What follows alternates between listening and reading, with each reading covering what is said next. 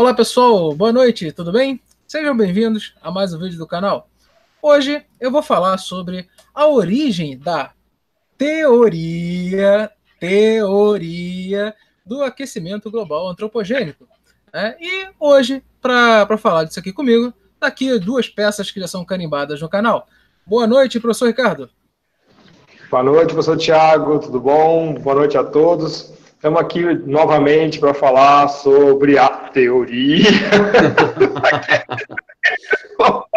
antropogênico.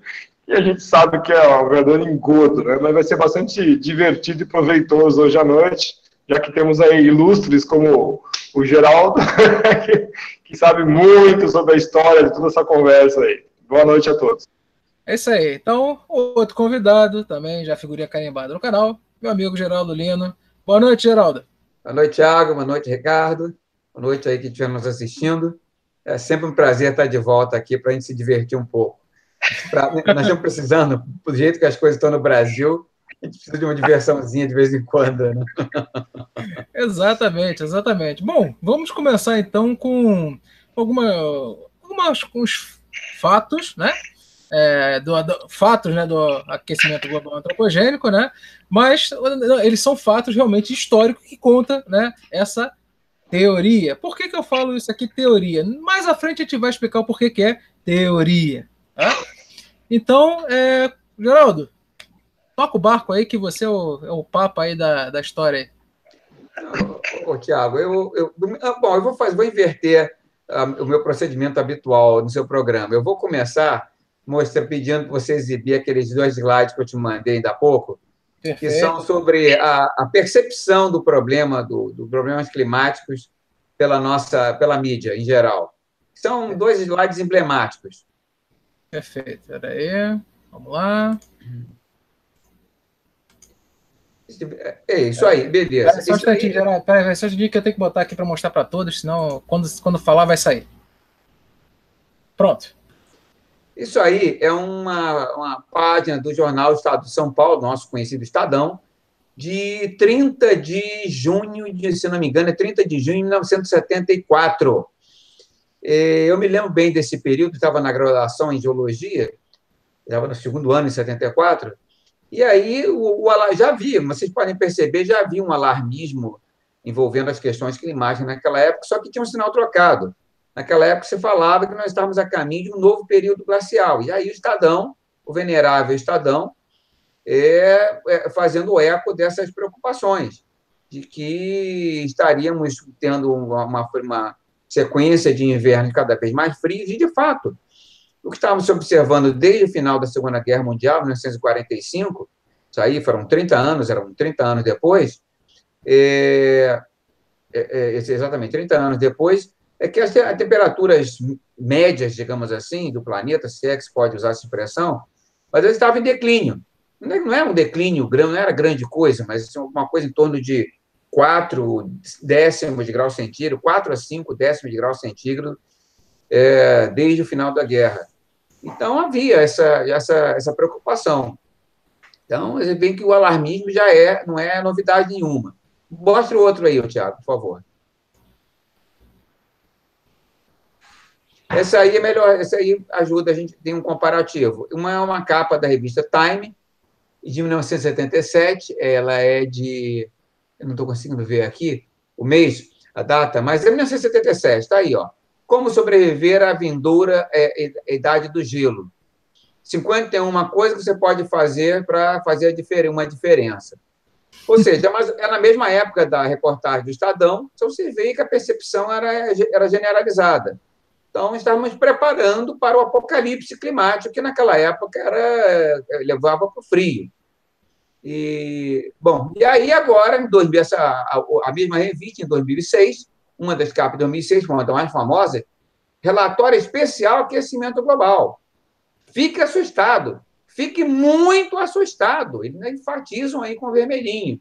Muito assustado. Aí, claro, evidentemente, mas eles gostam de capas zoológicas, uma tem um pinguim, que é um animal bem glacial, e outra é um urso polar, que virou o símbolo do aquecimento global. Um urso polar, coitado, partindo, chafurdando aí numa capinha, capinha de gelo que você pode furar com um furador de, de gelo de cozinha, e o pobre ursinho aí deve estar muito preocupado.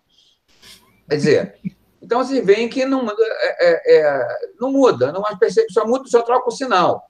Agora, o que, que mudou de 1967 para 2006? Mudou a percepção, porque não dá para você fazer falar em aquecimento global com temperaturas em queda. E mais o que é mais importante, e aí nós vai, vai, vai, vai ser interessante discutir sobre essa teoria, entre aspas, do aquecimento global, é a percepção disso. Ou melhor, a manipulação disso para finalidade política. Como nós já temos enfatizado N vezes aqui, nas nossas participações aqui, quando eu e o Ricardo, pelo menos, estamos presentes, e outros amigos nossos aí, é que essa questão do, do, do, aquecimento global não tem nada a ver com ciência. Por isso que o Tiago e o Ricardo estão fazendo galhofa aqui com a teoria, entre aspas, porque é exatamente isso que se, se trata, uma teoria entre aspas. Uma hipótese que não tem comprovação é, é científica.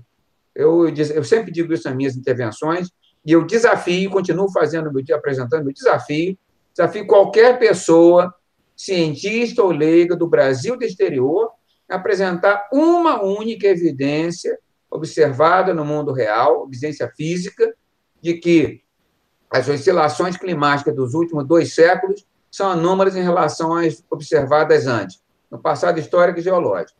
Se alguém é, apresentar uma sequer, eu aqui eu aceio, eu lanço aqui o repto eu queimo todos os exemplares que restam da, da, da quarta edição do meu livro, A Fraude e Aquecimento Global. Esse é um compromisso que eu faço público para quem apresentar uma única evidência é, crível, evidência factível, factual, observada no mundo real, de que as oscilações climáticas de temperatura da atmosfera dos oceanos e nível de oscilação, nível do mar dos últimos 200, 250 anos, são anômalas em relação às observadas antes. Se apresentarem isso, eu alegremente faço uma fogueira em público com os exemplares restantes do meu livro, A Fraude e Aquecimento Global. Mas é isso aí que nós estamos vendo.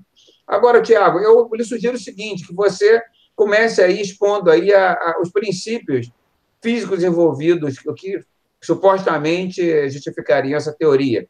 Depois, eu, Ricardo, a gente aproveita a sua deixa para comentar os aspectos é, é, contra, contrários a essa, esse catastrofismo, e principalmente é, como essa, essa questão entrou na, na, na, discussão política. Perfeito, perfeito. Eu vou então fazer agora aqui então a, a, a segunda né, apresentação e vou, vou pegar leve, tá, pessoal? Pode deixar. já, já levei é, o puxão. Tá bom, tá bom. Mas vamos lá. Eu vou, vou tentar ser o mais, é, mais simples possível, mais. É, vamos lá, deixa eu botar aqui de novo para mostrar para todos. Ok. Bom, pessoal, é, esse quadrinho aqui, né? É, ele ilustra bastante é, justamente os dados, né? Que são dados é, obtidos, né? Por experimentos, tá? Da, da Georgia Tech, né? Das, do, das ciências atmosféricas de lá, né? E justamente ele fala da absorção de radiação infravermelho. Bom, de cara eu vou falar o seguinte: CO2 e CH4, ou seja, gás carbônico e metano, que falam que são os dois grandes vilões, né? Dois né, terríveis vilões, eles são moléculas apolares. O que, que são moléculas apolares? Que não possuem um dipolo hum. permanente. Ou seja, eles, eles precisam ter uma, um dipolo, como se for, ou seja, a água e o ozônio, eles são moléculas polares, e para absorver radiação infravermelho, ela deve ser uma molécula polar. Ponto. Isso aí não sou eu que determino, isso quem determinou foi a natureza. Tá? Quando as moléculas se uniram, puf, né? Molécula para absorver radiação infravermelho só sendo polar. Mas existem sempre os poréns, né? Existem três coisas que podem fazer uma molécula apolar absorver. Uma são as colisões, que são frequentes na, na atmosfera, tá? Outra é a pressão atmosférica, guardem bem esse termo. E a outra é o que? É o chamado, é o chamado, quem sabe, quem sabe, quem sabe, quem sabe. Vocês já viram aquele, aquela ambulância quando vem chegando, fica assim, uau, uau, uau, uau, uau, depois ela vai embora? Tá? Isso aí tem um, tem um, tem um nome, tá? É, esse efeito, o que acontece? Ele faz com que muda, mude a frequência da, da fonte com relação à velocidade. Isso acontece também com relação na natureza nas moléculas. Então, você, quando altera essa frequência, tá, você consegue fazer o encaixe na, na frequência da molécula, tanto do CO2 quanto do CH4. Então, de cara, o vapor de água é quem mais absorve dentro do espectro infravermelho. Por quê? Porque ele tem um espectro contínuo. Tudo isso aqui ó, são faixas de absorção. Faixas são pequenos é, pequenos pedacinhos tá, do espectro total. Depois eu vou mostrar melhor. Então, o CO2 só absorve, só absorve em quatro bandas né, espectrais do infravermelho, sendo que as mais efetivas são comprimentos de ondas de 15 microns, né, 15 micrometros, 10 a 6 metros, e 4,6 é, micrometros. Ou seja, essa é a mais absorvente. 10 a menos 6, né? 10 a menos 6, isso, obrigado. É, essa é a mais absorvente e essa é a segunda mais absorvente. E o metano só absorve nessa banda aqui, tá? Então, beleza. Vamos. Isso aí é, é tudo isso aqui está dentro do infravermelho termal, tá? É o que eles falam do, do que vai interferir na, no, no, clima da Terra, ok? Porque eles absorvem também outras bandas de infravermelho, mas que não tem nada a ver com a parte da, da emissão na Terra. Bom, passando aqui, eu sempre gosto de falar da chamada lei de Wien, tá? Que ela relaciona o comprimento de onda com a temperatura do corpo emitido. Agora, é, só que tem muita gente que fala, ah, vai ser lei de Wien, não sei o que, não tem nada a ver. É só ser um ignorante que falar isso. Tá? Por quê? Existe, é, a lei de Wien, ela vai dar o comprimento máximo. Não quer dizer que não vai absorver depois na curva de sino, que eu vou mostrar mais à frente. Então, se você pensa aí, cala tua boca para não falar besteira. É. Além do que é bem pouquinho que sai fora da curva. É, é, porque que tem, tem certos turistas que ficam falando merda. Né? Então vamos lá. Aqui está a fórmula da lei de Wien. Então, o que acontece? Essa aqui é chamada constante de Wien. Isso aqui é o comprimento de onda que foi citado lá, 15 vezes 10 a menos 6. Ou seja, para a temperatura né, da, da do CO2 para mais, ser mais absorvente, é quase menos 80 graus Celsius. Tá certo? Não quer dizer que absorva somente a essa temperatura, mas depois eu vou falar mais à frente. E o segundo, né? O segundo comprimento de onda é em torno de 401 graus Celsius. Ou seja, onde você vai encontrar na superfície da Terra 401 graus Celsius? Acho que só em erupção vulcânica, né? É. E menos 80 lá na Antártida, né? Então, beleza. Né? Então, continuemos. Aqui está o que eu falo, a chamada curva de absorção do CO2, onde banda V3 e banda V2. Aqui ela é mais absorvente. Essa aqui é chamada uma curva de sino, tá? que é derivado da lei de Planck, e que diz o seguinte: no pico, onde está aqui em cima, tá? no pico de absorção, que é o 15, ela é mais absorvente. A, lei, a chamada lei de Kickoff diz o seguinte: todo bom absorvente num comprimento de onda também é um bom emissor. Ah, então quer dizer que esse CO2 né, vai emitir. Sim, ele vai emitir. Tá? E ele vai absorver. Só que tem um negócio, pessoal. Mesmo aqui, nesse ponto mais alto, essa absorção ela não é 100%, não é um corpo negro, tá? Que tem muita gente que fala, ah, CO2 é corpo negro. Não, não é um corpo negro, ele não emite como corpo negro, tá? Ele não vai absorver 100% da radiação, não adianta. Tá? Isso é a natureza, a natureza não é, não é ideal, ela tem perdas. E aí o que acontece? Justamente, né, essa chamada emissão de Planck, que é aqui dentro dessa curva de sino, ele pode emitir um pouquinho acima e um pouquinho abaixo, ou seja, menos energética e mais energética. Só que, pela chamada lei de Stefan Boltzmann, diz o seguinte, que a emissividade de um corpo, ela é, ela tem primeiro um, um, uma porcentagem, né, que se fosse é, 100% seria um corpo negro, e ela vai decaindo, e ela é, ela é relacionada à quarta parte, elevada a 4 da temperatura, ou seja, a quarta potência da, da temperatura. Mas quando você tem aqui, né, um pouquinho mais para cá, para o lado do 15 microns, essa emissão decai cada vez mais em termos do que? Do fluxo de energia. Quando sair do slide, eu vou mostrar uma coisa aqui na câmera que vocês vão, vocês vão perceber. Então, o que acontece? Se o fluxo radiante ele vai decaindo, ele vai interagir menos com a molécula. Então, ou seja, para aquecer, você necessita de quê? De fluxo de energia, além de uma energia superior a que a superfície estaria emitindo. Agora, aqui está o do ozônio, do O3. É, ele é, é, muito absorvente, aonde? Nessa faixa aqui, um pouco abaixo de 10 microns. Tá? E também é muito pouco, porque ela tem variações. Aqui, ó, essa parte aqui, onde o ozônio é bem forte, aqui nós já estamos entrando no UV, UVB, né? CH4, mesma coisa. Aqui é aquela parte que eu falei, né? Dos 7,6, 108 graus Celsius. Onde é que nós temos na superfície da Terra? 108 graus Celsius, no, no pico. Né? E nem é um 100% o pico. Ela aqui, a 3, tá? é muito quente também. É a é temperatura acima né, dos 4,3 do CO2, que são 401 graus Celsius. Onde é que você vai encontrar na Terra? Erupção vulcânica, né? Depois, né, os nossos queridos nitratos, né, que batem tanto na, na, na agricultura, coitados, né, nitrato e tal, né, aquela baboseira, né, que só uma chuva com, com tempestade né, de raio forma muito mais nitrato que o homem usa. Né? Então, é, beleza, mas é o homem que está matando. Então, aqui, ó, no máximo dele aqui também, tá? Não é, não chega a 100% e nunca vai chegar. E aqui, 4,5 é próximo do 4,3 do CO2, só lá na temperatura vulcânica mesmo.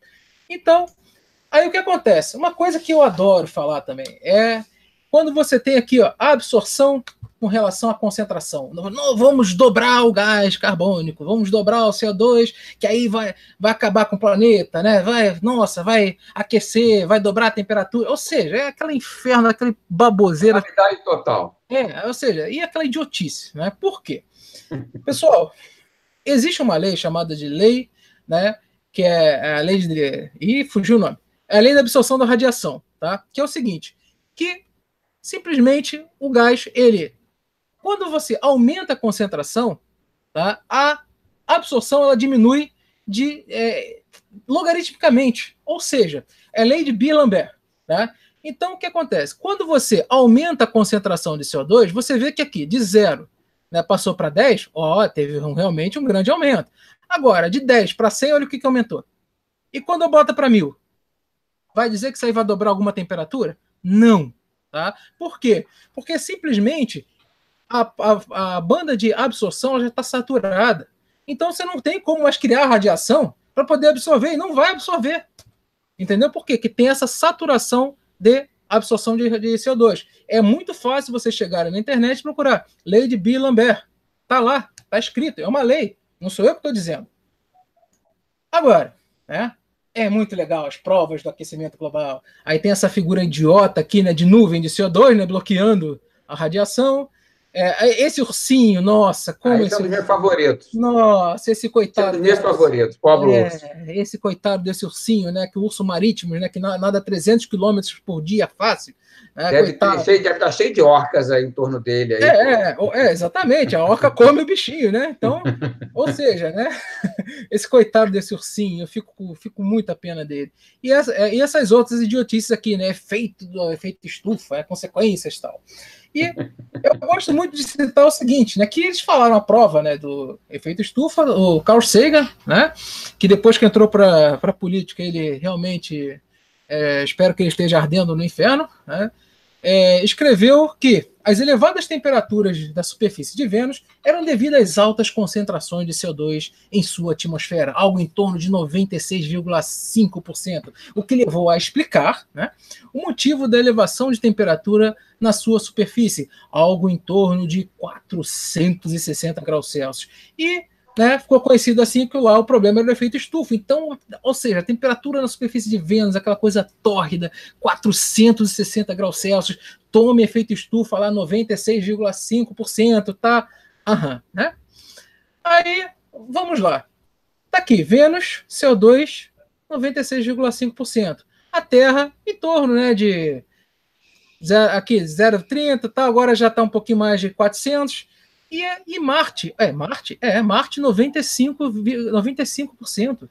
Gente, temperatura de Marte é bem frio. À noite, né? Durante o sol, né? É quente. Agora, por que que Vênus seria tão quente a 96% e Marte não a 95%? Por quê? Concentração não são parecidas? Né? 96 para 95? Então, o que acontece? Existe um negócio chamado pressão, né? olha a pressão de Marte. Olha a pressão da Terra, olha a pressão de Vênus. Ou seja, a temperatura está aqui. Isso aí é chama-se chamada distribuição de Maxwell-Boltzmann. Não fui eu que disse isso. Se não acredita, né? Faça uma sessão espírita, pergunta aos dois. É, é o seguinte: a temperatura de qualquer sistema físico é resultado do movimento das moléculas e átomos, ou seja, energia cinética, que compõem o sistema. E essas pequenas partes das matérias possuem intervalo de diferentes velocidades, e a velocidade de cada partícula varia constantemente devido às colisões umas com as outras. Agora eu te pergunto: aonde colidem mais? Em Marte ou em Vênus? Onde a colisão é maior? Onde vai ter maior energia cinética? Claro que vai ser em Vênus. Ou seja, a pressão, né? ou seja, quanto maior a pressão de um gás, maiores serão as colisões entre as moléculas desse gás. E assim aumentarão a energia interna das moléculas, aumentando o grau de agitação das moléculas, resultando no maior energia cinética, a maior energia cinética. E como a energia cinética das moléculas de um gás é função apenas de sua temperatura, quanto maior a pressão, maiores serão as colisões moleculares, consequentemente, maior será a sua energia cinética. E assim será maior a sua temperatura. Tá? Ou seja, pessoal, não tem nada a ver com o fato de ser é, CO2, lá podia ser qualquer coisa, com uma pressão 92 vezes maior, né? isso, isso iria acontecer. Agora, uma coisa interessante que eu gosto de mostrar. Está aqui né, o meu controle remoto. Estou tampando o nome da, da, empresa que eu não quero fazer propaganda. E eu posso chegar e fazer assim na minha, no meu rosto. Ó. E, nossa, estou sentindo um, aquecimento do caramba. Agora vocês, na câmera, vocês vão ser possível visualizar isso aqui. Ó. Isso aqui é radiação infravermelha. Tá? E essa radiação infravermelha está numa frequência que essa emissão aqui ela é bem próxima do visível. E se ela é bem próxima do visível, ela é relativa a um corpo de altíssima temperatura. Alguém já se queimou em fazer isso aqui com controle remoto? Não. Alguém já se queimou, por acaso, por causa dessa minha gambiarra aqui, ó, com uma lâmpada de LED na minha cara? Né? Vai fazer isso? Não. E a luz visível? O Sol ele, ele emite luz visível branca, está a 6 mil graus Celsius, 6 mil kelvins. Né? Então, o que acontece? Tudo isso, pessoal, depende do seguinte, do negócio chamado fluxo radioativo. Tá? Para aquecer alguma coisa, tem que ter um fluxo. Se você chegar e aproximar de uma, de uma vela, assim você se queima. Aproxima, afasta um pouco, você não se queima mais. Por quê? Porque não existe fluxo radioativo para isso, densidade de fluxo. Ou seja, é, a lei de Stefan Boltzmann, que eu citei lá do CO2. Aqui eu estou emitindo CO2 próximo do visível. Posso colocar aqui perto do meu rosto que eu não vou me queimar. E essa, essa luz aqui ela seria é, relativa a uma temperatura muito maior do que meu, é, meu corpo poderia suportar. Bom, é, essa que eu, que eu teria que falar por enquanto, né? Um, um, é, um pouco de física para poder abrir para vocês aí. Isso é, só, isso é só a pontinha do iceberg. Eu não quis me estender muito nem ser mais, é, mais técnico. Pode tocar o bom, bom aí, Geraldo. Mas acho que vale a, pena, vale a pena ressaltar dois pontos aí, né? Que né, quando você mostra naqueles gráficos, o negócio lá não chega nem a 75% de eficiência, já começa por aí, né? E logo que ele sai do máximo, a eficiência cai absurdamente. Portanto, não tem como ele fazer nada com esse padrão de absorção, nem no pico, que já é absurdamente baixo, e muito menos no resto do sino. Aí. Ou seja, não, tem, não faz absolutamente nada. Ainda mais aqueles valores, né? De 80 negativo, 400 positivo, 100 pouco positivo. A conversa muito fiada. Só isso é que eu tinha para acrescentar. Ah, isso aí, esse, a gente, quando, quando você vai, vai olhar o registro histórico e como essa, essa brincadeira começou, a gente vai lá atrás, desde que o Tyndall descobriu lá que no, no, no, primeira metade do século XIX que a, que a temperatura, que o, o o CO2 absorvia né, a radiação infravermelha. Aí, no final do século XIX, o Arrhenius, né, o Svante Arrhenius, o químico sueco, ele foi o primeiro a, a sair com essa... primeiro aquecimentista, digamos assim. É, bom, ele era um sujeito sério, até o prêmio, o prêmio Nobel de Química na, na ocasião. É, não foi por isso, mas ele ganhou, se não me engano, ele ganhou, chegou a ganhar, foi ser agraciado com o prêmio mas ele estabeleceu que se ele foi o primeiro a chamar atenção para o acúmulo de, de, de, CO2 proveniente da queima de carvão. Ele era europeu, né, sueco. Naquela época, se a revolução industrial estava se espalhando pela Europa Ocidental, E, e era o combustível básico era o carvão mineral, né? Então, e, Geraldo, deixa eu só, só fazer um, um, adendo aí quando você falou do Tyndall.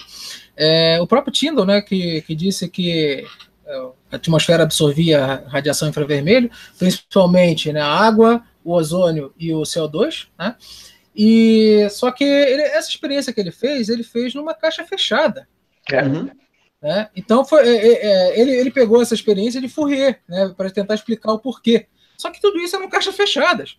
Né? Não tinha Exatamente. as trocas né, com a não tem troca de energia, e, não tem nada. E, e, mais uma coisa, e o próprio Tino afirmou que Deixa eu só, eu vou, vou tá, tá com aberto aqui, eu vou ler para não, não dizer que eu, que, eu, né, que eu distorci a palavra do Tyndall, tá?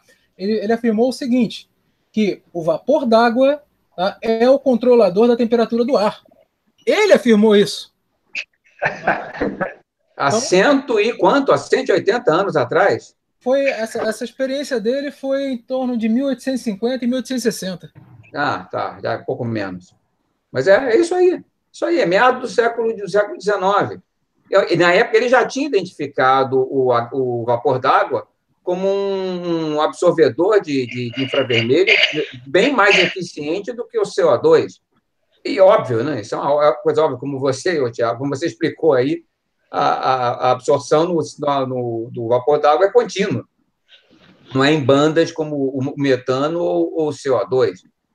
É, agora, o Arrhenius foi o primeiro. Então, o Arrhenius veio com a balanço, disse que se, se dobrássemos a, a, concentração de CO2, temperatura ia aumentar 2 graus centígrados. Quer dizer, nem observa que até o número já é idêntico, né? É 110 anos, 120 anos depois, o número é idêntico. E o Arrhenius não tinha nada desses, não tinha nenhum, nem esses supercomputadores aí para fazer os cálculos dele trabalhava com a velha régua de cálculo mesmo, né? com, a, com a cabeça. É, papel e, e, lápis. Agora, depois veio, na década de 1930, né, veio lá o Calendar, que era o engenheiro inglês, também, nas horas vagas, gostava de se divertir fazendo esses cálculos. Ele foi um pouco mais audacioso, ele chegou, estabeleceu que, na verdade, se a temperatura, se a concentração de CO2 duplicasse, Observe que os dois já tinham essa fixação do CO2, né? Deixaram de lado a, a, a observação do Tyndall lá atrás e começaram a se fixar no CO2. Talvez Freud explique alguma coisa a respeito. Mas o fato é que o, o calendar ele estabeleceu que eram, seriam 4 graus centígrados. Mas, na verdade, naquela época, a comunidade meteorológica simplesmente ignorou isso. As preocupações eram outras. E isso só veio a voltar, só vieram lembrar disso no final dos anos 50, início dos anos 60 do século passado, quando aquele químico americano, o, o nome dele, Kelly, é Killing, né? Como é que era o nome dele? Era Charles Killing. Charles Killing, da curva, é, da curva de Killing.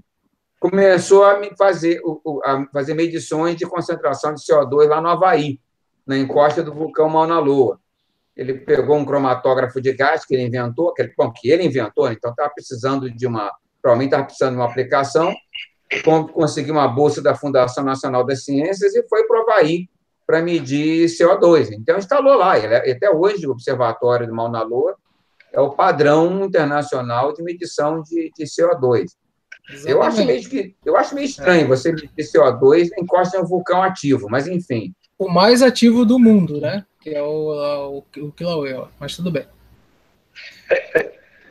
É, inclusive o professor Ian Plimer, é, que é ativo do mundo, ele, então ele, então aí começou, mas aí, é, é, é aí começou essa, começaram, começou essa, essa, esse bafafá, essas, essas intrigas sobre o CO2. O CO2 entrou definitivamente no radar. Só que não dá para discutir essa questão do aquecimento global, como já, já, já, já discutimos várias vezes aqui, eh, sem levar em consideração que o, a, a, a hipótese do antropogênica da, da, da mudança climática, ela é, temos enfatizado aqui, não tem nada a ver com ciência, ela é uma, é uma questão política. E o, como, como, aliás, todo o movimento ambientalista. E o, e o, e o aquecimento global é apenas o, o, o digamos assim, a ponta de lança, é a ponta de lança do movimento ambientalista. Eu insisto, o, o, já escrevi isso N vezes, inclusive em livros, já falei isso N vezes aqui, eu e outros, né, outras pessoas. o movimento ambientalista ele, ele não tem nada de espontâneo, ele não é um fenômeno sociológico espontâneo. Ele, ele surgiu como uma, uma, um instrumento político, foi criado artificialmente por centros de poder do hemisfério norte, é, com uma finalidade específica, de convencer o, o, o, o mundo ainda não industrializado de que é, a industrialização não era é, o rumo ideal para o desenvolvimento deles. Então, uma das formas de, de, de, de convencer os países subdesenvolvidos né, disso era de que era de que isso acarretaria uma pressão insustentável sobre o meio ambiente. Esse discurso é antigo. Isso remonta ao fim, à segunda metade da década de 1950 já no século XX, ou seja, tem mais de, já, tem, já tem mais de 60 anos. Foi aí que surgiu essa, esse negócio. Na década, é, aí vale a pena é, é, fazer um, breve, uma breve contextualização histórica.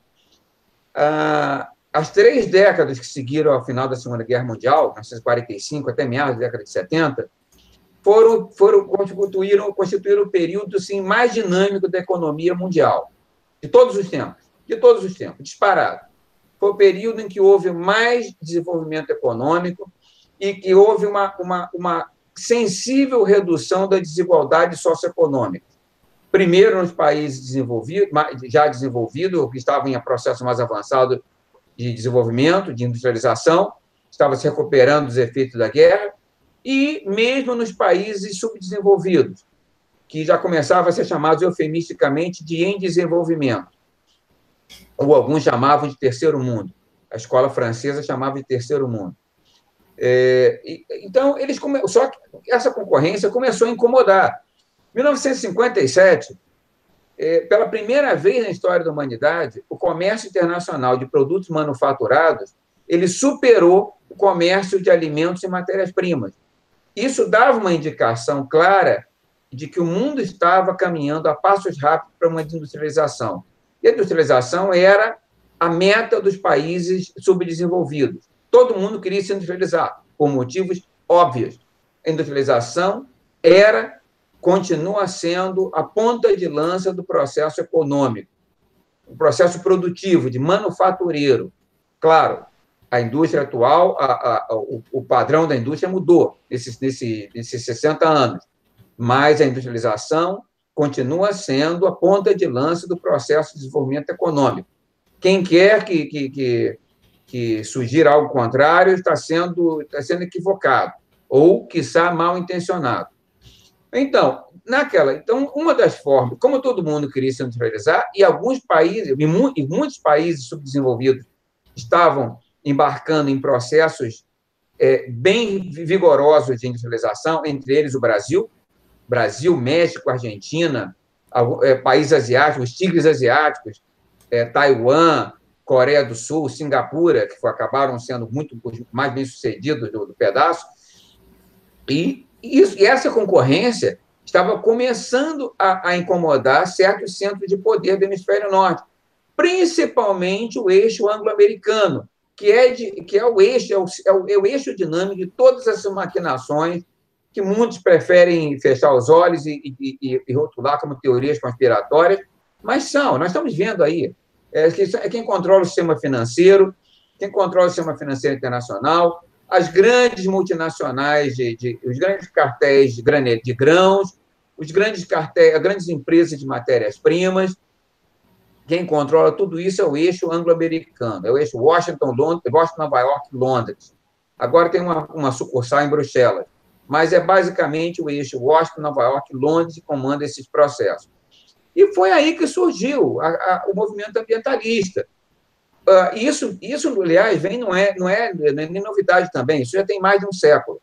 Porque o movimento ambientalista remonta, as origens remotas, mais remotas do movimento ambientalista, elas remontam ao início do século, a virada do século XIX para o século XX, com o movimento eugênico, o movimento eugenia, do melhoramento racial que era uma, uma coqueluche das famílias oligárquicas do eixo é, anglo-americano, principalmente. Quando começaram a ser criadas grandes fundações das famílias, eh, da Rockefeller, por exemplo, a família Carnegie, por as duas primeiras, eles começaram a, a esses multimiliardários começaram a perceber que eles tinham, que essas fundações, elas tinham mais uma, uma finalidade além de, de, de sonegar impostos. É, apesar de que os Estados Unidos e na Inglaterra só começaram a cobrar imposto de renda, por exemplo, na década de 1910. Então, eles começaram a utilizar essas fundações para evadir impostos e também para influenciar os rumos dos, deba do, do, do, dos debates acadêmicos. E uma, dos, uma das, das, tendências que eles é, é, patrocinavam era, era, do movimento eugênico, movimento de melhoramento racial. É, só que a, a, isso era, era, era moda, era, era modinha. Qualquer luxo na, na, na primeira, nas primeiras décadas do século XX era modinha, era modinha intelectual. A eugenia era modinha intelectual, inclusive aqui no Brasil.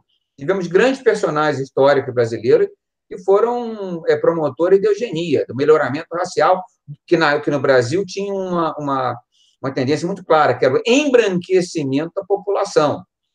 Lembra que o Brasil foi o último país, foi o país do mundo que mais importou escravos negros né, da África, e também foi o último do mundo ocidental a acabar com a escravidão. Então, a eugenia era moda aqui na, na, na, na primeira década do século, do século passado. Só que depois da guerra, com as atrocidades cometidas pelos nazistas, em nome da eugenia, que, aliás, não era uma invenção nazista, os, os regulamentos eugênicos nazistas foram todos copiados da, dos regulamentos americanos, principalmente do estado da Virgínia, que era o mais que tinha mais essa legislação mais avançada, mais avançada, mas as atrocidades cometidas pelo nazista na guerra, que todo mundo conhece, tornaram a eugenia uma palavra assim meio mal falada. Então, eles substituíram a eugenia pelo movimento de controle de população, é, o controle demográfico. E, e, aí, mas aí, logo em linha paralela, surgiu o movimento, junto com o movimento, é, com a conversão de eugenia em movimento é, de controle de população, surgiu a questão ambiental. E que teve, é, que, que teve alguns pensadores que, que perceberam logo o potencial político da, da questão da proteção do meio ambiente. Então, surgiram as primeiras ONGs ambientalistas, a primeira foi a, a, Fundação Conservação, nos Estados Unidos, 1948, se eu não estou enganado. No mesmo ano surgiu a famosa União Internacional para a Conservação da Natureza. E alguns anos depois, em 1950, é, no, é, e, no, e no fim, mais ou menos, na segunda metade da década de 50, mais ou menos quando é, começou a industrialização, estava na, na, na, todo mundo queria se industrializar, e aí começaram a surgir os movimentos anti-industrialização. Começaram a surgir aquelas, uma teoria que um, pouca gente se lembra, mas era do, da sociedade pós-industrial. Não, agora a moda, o ideal não é mais a industrialização, agora, porque nós já estamos caminhando para a sociedade pós-industrial, sociedade de serviços terceira onda, do Alvin Toffler, começou a surgir essas coisas todas. E aí apareceu o movimento ambientalista de Jain de com a, fundação, com a criação do famoso WWF, o Fundo Mundial para a Natureza, que hoje se chama, aliás, chamava-se World Wildlife Fund, é, Fundo Mundial para a Vida Selvagem, hoje chama-se Fundo Mundial para a Natureza, com a mesma sigla WWF. E quem fundou o WWF foi um grande benemérito da humanidade, como o príncipe Philip, que está vivo ainda, com 90, quase 100 anos, é o príncipe consorte do Reino Unido, e o seu amigo, o Pincha, de, de muitas farras, príncipe Bernardo da Holanda, que esse, esse é falecido. E, e eles se juntaram, reuniram uma coleção de altíssimos oligarcas da América do Norte e da Europa e resolveram criar o WWF, tanto que as primeiras diretorias do WWF, até a década de. até, até, o início, até a primeira metade da década de 80 do século passado, você era, eram infestadas de altos, de altos magnatas, altos industriais, é, banque, altos banqueiros. Aqui no Brasil mesmo, a filial brasileira do WWF, WWF Brasil, ah, na década passada, quando ele, no 2001, na primeira metade da década passada, quando eles processaram a mim meus, meus, meus amigos do, do, do Movimento Solidariedade Ibero-Americana, porque por denunciar as falcatruas dele, Naquela ocasião, o presidente da WWF Brasil era o Zé Roberto Marinho, cujo sobrenome deve ser familiar a todos. Na diretoria da WWF, os colegas do Roberto Marinho eram um, um alto diretor do Bradesco, um alto diretor da British Gas, um diretor da Gazeta Mercantil, um jornal que não existe mais, e um outro era um, era um, era um dos sócios, um dos maiores escritórios de advocacia do Brasil, Francisco Misnik. Era sócio do, do escritório é, Barbosa Misnik Aragão. Ele, na época, ele era cunhado do Daniel Dantas, que nome conhecido de todos também, né? das falcatruas, das privatizações dos anos 90. Então, vocês veem que essa gente, a gente fica, se você não é uma, uma, uma um, assim, um, um míope completo, é, um ingênuo total, a gente, a gente fica pensando o que, que esses, esses altos magnatas, o que, qual a preocupação deles, qual a motivação deles de proteger a, a, o meio ambiente? Será que é uma preocupação legítima ou uma preocupação tendenciosa? É, e realmente, é aí nós começamos, começou a, a, o potencial da questão climática nesse, nesse movimento foi, foi, foi, foi logo, logo identificada. Já no, no, na, no 1963, por exemplo, é um ano interessante, houve duas conferências famosas sobre questão climática. 63, estamos falando de 55 anos atrás. Uma conferência nos Estados Unidos foi, financiada, foi organizada pela Conservation Foundation, a Fundação Conservação. E, um e o principal conferencista dessa conferência foi o nosso conhecido Charles Killing, o mesmo que estava já há alguns anos medindo é, é, é, concentrações de gás carbônico no, no Havaí. Ele foi o principal conferencista dessa conferência, que chegou à conclusão de que, a, mais, na, mais ou menos na linha do, do, do Arrhenius, de que uma duplicação das, das concentrações de CO2 que eles esperavam para o início do século XXI iria elevar a temperatura em até podia elevar a temperatura atmosférica em até 4 graus centígrados. E aí já, já, já elencavam todo aquele conjunto de, de acontecimentos catastróficos, calamitosos, apocalípticos que nós conhecemos. Derretimento das calotas polares, subida do nível do mar, é, é, aumento de, de, ondas de calor, etc, etc. No mesmo ano, a, a FAO, a Organização das Nações Unidas para os Alimentos e Agricultura, ela organizou uma conferência para avaliar o, o efeito oposto, avaliar os efeitos do resfriamento atmosférico. Em 1963, a temperatura vinha caindo, desde o final da guerra. Então, a preocupação da FAO, é, órgão da ONU, era, era oposta, era com o efeito do o impacto do resfriamento nas safras agrícolas.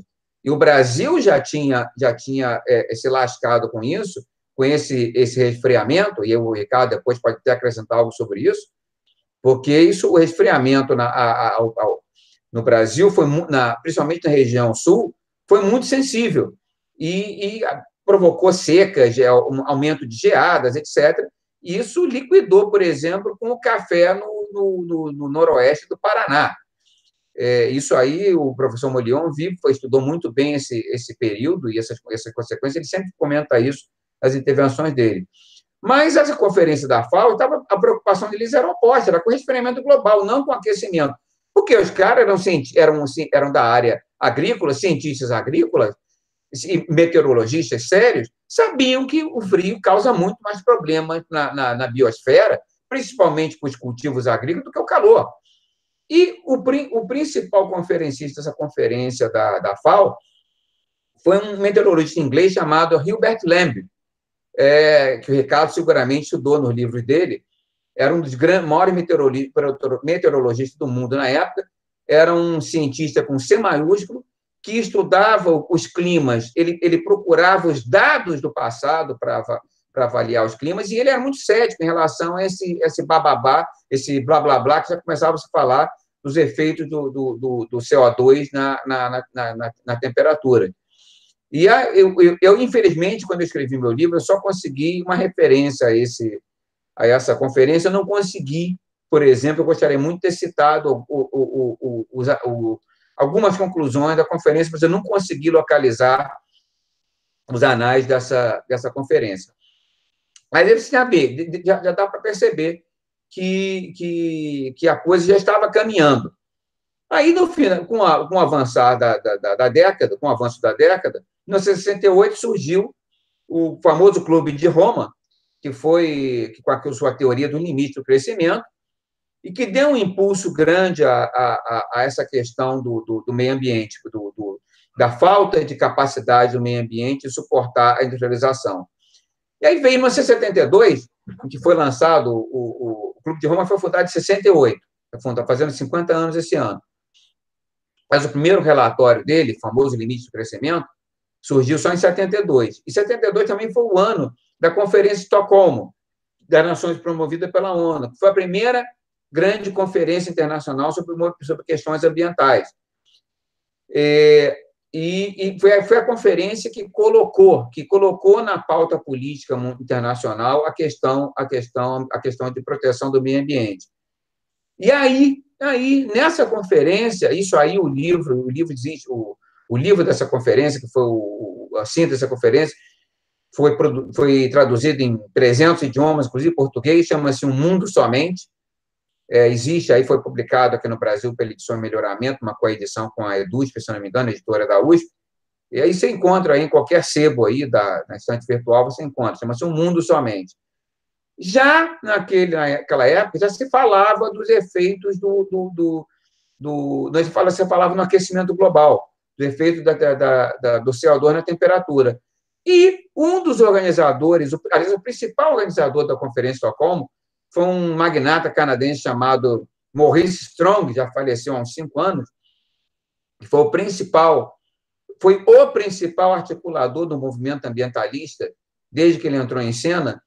Ele, é, ele, ele já apareceu com uma, em, em Estocolmo com uma proposta de se limitar as emissões de carbono. Quer dizer, observem que as temperaturas estavam caindo ainda mas ele já vinha com essa, já tinha com essa proposta de criar uma cota para emissões de carbono. Quer dizer, isso em 1972, estamos vendo, estamos falando de, de, de, de, de quase de, de, mais de 40 anos atrás, de 46 anos atrás. E aí a coisa começou a ganhar, ganhar força, ganhar atração. Em 1975, houve uma conferência nos Estados Unidos, em Washington, chamada Atmosfera Ameaçada e Ameaçadora em que nessa conferência, ela, ela, a, a, principal coordenadora dessa conferência não foi uma cientista do clima, foi uma antropóloga chamada Margaret Mead. É, é, mas é, Margaret Mead é uma antropóloga muito controvertida nos Estados Unidos, mas ela, ela, tinha, ela teve um papel muito grande, era ligada aos serviços de inteligência, a CIA principalmente, e ela teve um papel muito grande na criação dessa, dessa estrutura de crenças do ambientalismo. E ela, nessa conferência, curioso, né? uma, uma antropóloga ser a, a keynote speaker da a principal coordenadora de uma conferência climática, mas ela disse uma coisa interessante. Ela disse que, não, que as decisões, ela deixou claro é, que as, que as, as, que haveria uma série de decisões políticas sendo tomadas com base em questões ambientais, principalmente do clima, e que o papel do cientista não ia ser contestar isso, mas se ajustar aos fatos, proporcionar os dados aos fatos, a menos que, que não quiser que ele quisesse deixar de ser cientista. Falou assim, curto e grosso, curto, de forma curta e grossa. E, não por coincidência, nessa conferência estavam ali é, quatro é, cientistas que, que, nos anos seguintes, é, três deles estão vivos até hoje, aliás, dois deles estão vivos até hoje, iam se tornar é, é, grandes assim, gurus do, do, do, do, do aquecimentismo. Um era o, era o, Schneider, né? o é, Jim Schneider, né? Era, era Jim Schneider, não? Stephen Schneider, né? Stephen Schneider, perdão. Stephen Schneider o nosso, o Vidal já morreu, já. o William Kellogg, William Kellogg, que já, já morreu também, é, é, George Woodwell, que não era climatologista, era biólogo, mas esse cara, teve, esse é outro que é um dos maiores operativos do, do movimento ambientalista, esteve metido na campanha contra o DDT, na campanha contra os, do, do, contra os clorofluorcarbonos e, no, no, e agora contra o CO2. Está vivo até hoje. Deve estar quase 100 anos já infeliz. E o outro foi o nosso conhecido James Lovelock, Lovelock. conhecido pela sua hipótese Gaia, que também está vivo já com mais de 90 anos, mas está aí. Bom, ele fez uma, uma ele fez um alto de fé, né? 180 graus, e ele disse que exagerou realmente na questão do, do aquecimento global. Mas o, o outro está aí. O Woodward está aí, continua, não, não se tratou de coisa nenhuma. Então aí a gente começa a ver aqui como é que as coisas, como é que as coisas funcionam. Nos anos 80, aí a coisa entrou na, direto na, na política, primeiro com a questão da, do buraco em camada de ozônio, que é outra farsa, aí já, o Ricardo pode até falar mais sobre isso. O Ricardo escreveu um livro chamado A Geopolítica do Ozônio. É, no meu livro eu cito também, eu, eu cito também, eu mostro que isso era um fenômeno natural que já ocorria muito antes que as substâncias das quais ele é, às quais ele é atribuído, os clorofluorcarbonos principalmente, é, é, ele já ocorria antes de clorofluorcarbonos serem sequer inventados, então tem alguma coisa errada nisso, né? E o, e o Protocolo de Montreal, que foi o grande tratado internacional que, que serviu de base para essa campanha é, aquecimentista, ele, foi, ele estabeleceu os parâmetros, porque o protocolo Montreal ele é draconiano. Ele, ele, determina o seguinte: que o país que não, tive, que não aderisse ele ia virar um párea do comércio internacional, principalmente é, é, em relação aos produtos que envolviam a, a, a, o uso de clorofluorcarbono. O Brasil, especialmente, isso foi protocolo de 1987, mas ele entrou em vigor a partir de 1990 é, o, Brasil foi, foi uma época crítica. O Brasil, o Brasil estava saindo de, de, de, de, um, de um regime, estava saindo do regime militar, depois do Sarney, depois veio o Sarney, iniciando um, um governo, um, um, governo eleito é, é, pelo democraticamente, entre aspas, né? Mas no Brasil tudo tem que ser colocado entre aspas, mas eleito democraticamente depois de, de depois de décadas é, depois de 20, 20 64, 26 anos, 26 anos, né? É, então, o, e estava em negociações difíceis, estava saindo de uma crise da dívida, saindo não, estava ainda enfrentando os efeitos da crise da dívida da década de segunda metade da década de 80, e o Brasil foi simplesmente chantageado. Olha só, ou vocês aderem, ou a gente vai complicar a vida de vocês no FMI. E o Brasil, naquela época, é, eu sei que eu participei disso. É, eu tinha, o Brasil tinha a, a empresa, que era a Embraco, que era, era, era, não sei se era a primeira ou a segunda, mas era uma das maiores produtoras mundiais, fabricantes mundiais de, de compressores de refrigeradores. Ela hoje ela virou, ela, depois ela foi comprada por uma empresa americana, depois foi comprada por uma empresa japonesa. Parece que os japoneses já passaram, já passaram adiante também. Mas era uma empresa brasileira na época. E o, o, eu me lembro que eu fiz umas palestras lá para o pessoal da engenharia da Embrapa, da Embrapa, eles me disseram, Geraldo, seu trabalho é, é, é, é fantástico, é muito, muito bom, só que eu, vou, olha, é, eu lamento lhe dizer que as decisões são tomadas. Ninguém vai, a nossa empresa não vai, não vai, não vai contestar nada disso. A gente sabe que isso é uma, que, é, que isso é política, as, as evidências são muito fortes, mas a gente pode fazer nada, porque senão 90% da nossa, da nossa produção é exportada. Então, a gente não vai, o protocolo é draconiano. Se, o Brasil não aderir, a gente não vai poder comercializar com países que, que aderiram ao protocolo. E nosso principal mercado são os Estados Unidos e a Europa. Então, se eles aderirem, não vamos poder fazer nada. Então, é assim que a banda toca.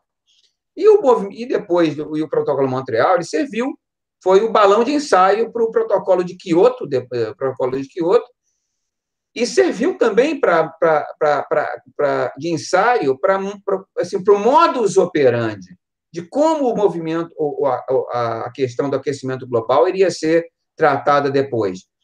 É, ou seja, bombardeio maciço de, de informações negativas, bombardeio midiático, é, o, o, o, consenso científico estabelecendo em torno de, de, de, de de um, de um a, a, desse conceito equivocado, né, que isso não tem o conceito que nós já discutimos várias vezes aqui. Consenso não é um conceito, não é um conceito que tenha valor científico algum. Ciência não se faz de consenso numérico, mas o, o bombardeio foi, mas foi muito grande, muito forte. A, a, mídia só ouvia, só ouvia os cientistas que, que, que apoiavam a tese do, do, do buraco na camada de ozônio causado pelos clorofluorcarbonos Ninguém explica como é que, que ninguém explicava como é que a, 85% da produção mundial de clorofluorcarbonos era, era, era consumida no hemisfério norte e, e o buraco de, de ozônio, na camada de ozônio aparecia na Antártica. Ninguém explicava isso, porque o Ricardo pode falar aí para nós, não tem essa troca de, de, de, de não tem possibilidade de, de substâncias lançadas acima do trópico de câncer na atmosfera irem parar na Antártica, façam no favor. Não há a menor possibilidade disso acontecer. E ninguém explicava também como é, como é que moléculas quatro vezes mais, mais densas que o ar iam parar na estratosfera, sendo que os sistemas de refrigeração, eles, é o que me consta, eles são de ambiente, eles estão instalados em ambientes internos. Quando essa porcaria vaza, quando, quando a tua mulher vai lá e mete a faca no, no na serpentina do, do, do, do, congelador da geladeira, apesar de você dizer 500 vezes para não fazer isso, mas vai lá e faz, que perdoe aqui as mulheres que estiverem assistindo, mas a minha fez isso. Então, e eu conheço algumas outras que fizeram. Brincadeira, gente, é só para descontrair. Mas quando você fura aquela porcaria ou aquela droga vaza da, serpentina ou do, do, do refrigerador, aquilo, qual a tendência de, daquele, de uma molécula quatro vezes mais densa que o ar, ela, quando sai na atmosfera, ela ir para cima ou para baixo, ainda mais que você está num ambiente fechado, que é um ambiente não turbulento. É para baixo, né? Então, como é que essa porcaria vai parar na, a, a 35, 40 quilômetros de, de, de, de, altitude? Isso ninguém explica. Mas, enfim, é, o que importa é que o, o bombardeio é, é, de, de, de, contar o pseudo-consenso foi muito grande, a mídia fez a sua parte, que só ouvia os cientistas que apoiavam isso, e os políticos embarcaram na onda alegremente. Né? E, claro, os fabricantes de clorofluorcarbonos, cuja patente já tinha caducado, já era domínio público, eles aderiram alegremente também, porque era, é, eles logo, logo apresentaram as patentes dos substitutos, os hidrofluorcarbonos. Só que tem um pequeno problema, que eram 30 vezes mais caros e como eles eram corrosivos, ao contrário do CF6, eles iam obrigar a trocar o circuito de refrigeração, a serpentina do circuito de refrigeração. Então, meu amigo, então obrigou isso, isso, isso obrigou a, a, a, a indústria de refrigeração do mundo inteiro a gastos de centenas de bilhões de dólares para substituir os, os seus padrões tecnológicos. E isso serviu para isso serviu para pra, de balão de ensaio para o que vira depois, que é, o, foi a, que é o, a questão do movimento do, do aquecimento global. Mas eu já falei demais, estou há meia hora falando aqui, vou deixar, vou, deixa eu dar um descanso para a garganta aqui, para os ouvidos de vocês, deixar o Ricardo e o Tiago falarem aqui, depois eu acrescento mais alguma coisa sobre a questão do aquecimento. Vai lá, Bom, Ricardo. Bom, eu vou puxar, eu vou puxar a bola aqui para o Ricardo, inclusive que eu quero que ele, na, durante a explanação dele, ele fale sobre a, é, que esse ano está fazendo né, 30 anos do discurso daquele maldito lá do Hansen, lá no, nos Estados Unidos, né? Né? Então, mete pau aí, Ricardo. Bom, é bacana. Só lembrando aqui que a Dona Laframboise também ela escreveu sobre a, a, tur, a tropa de cientistas que trabalham para a WWF, né?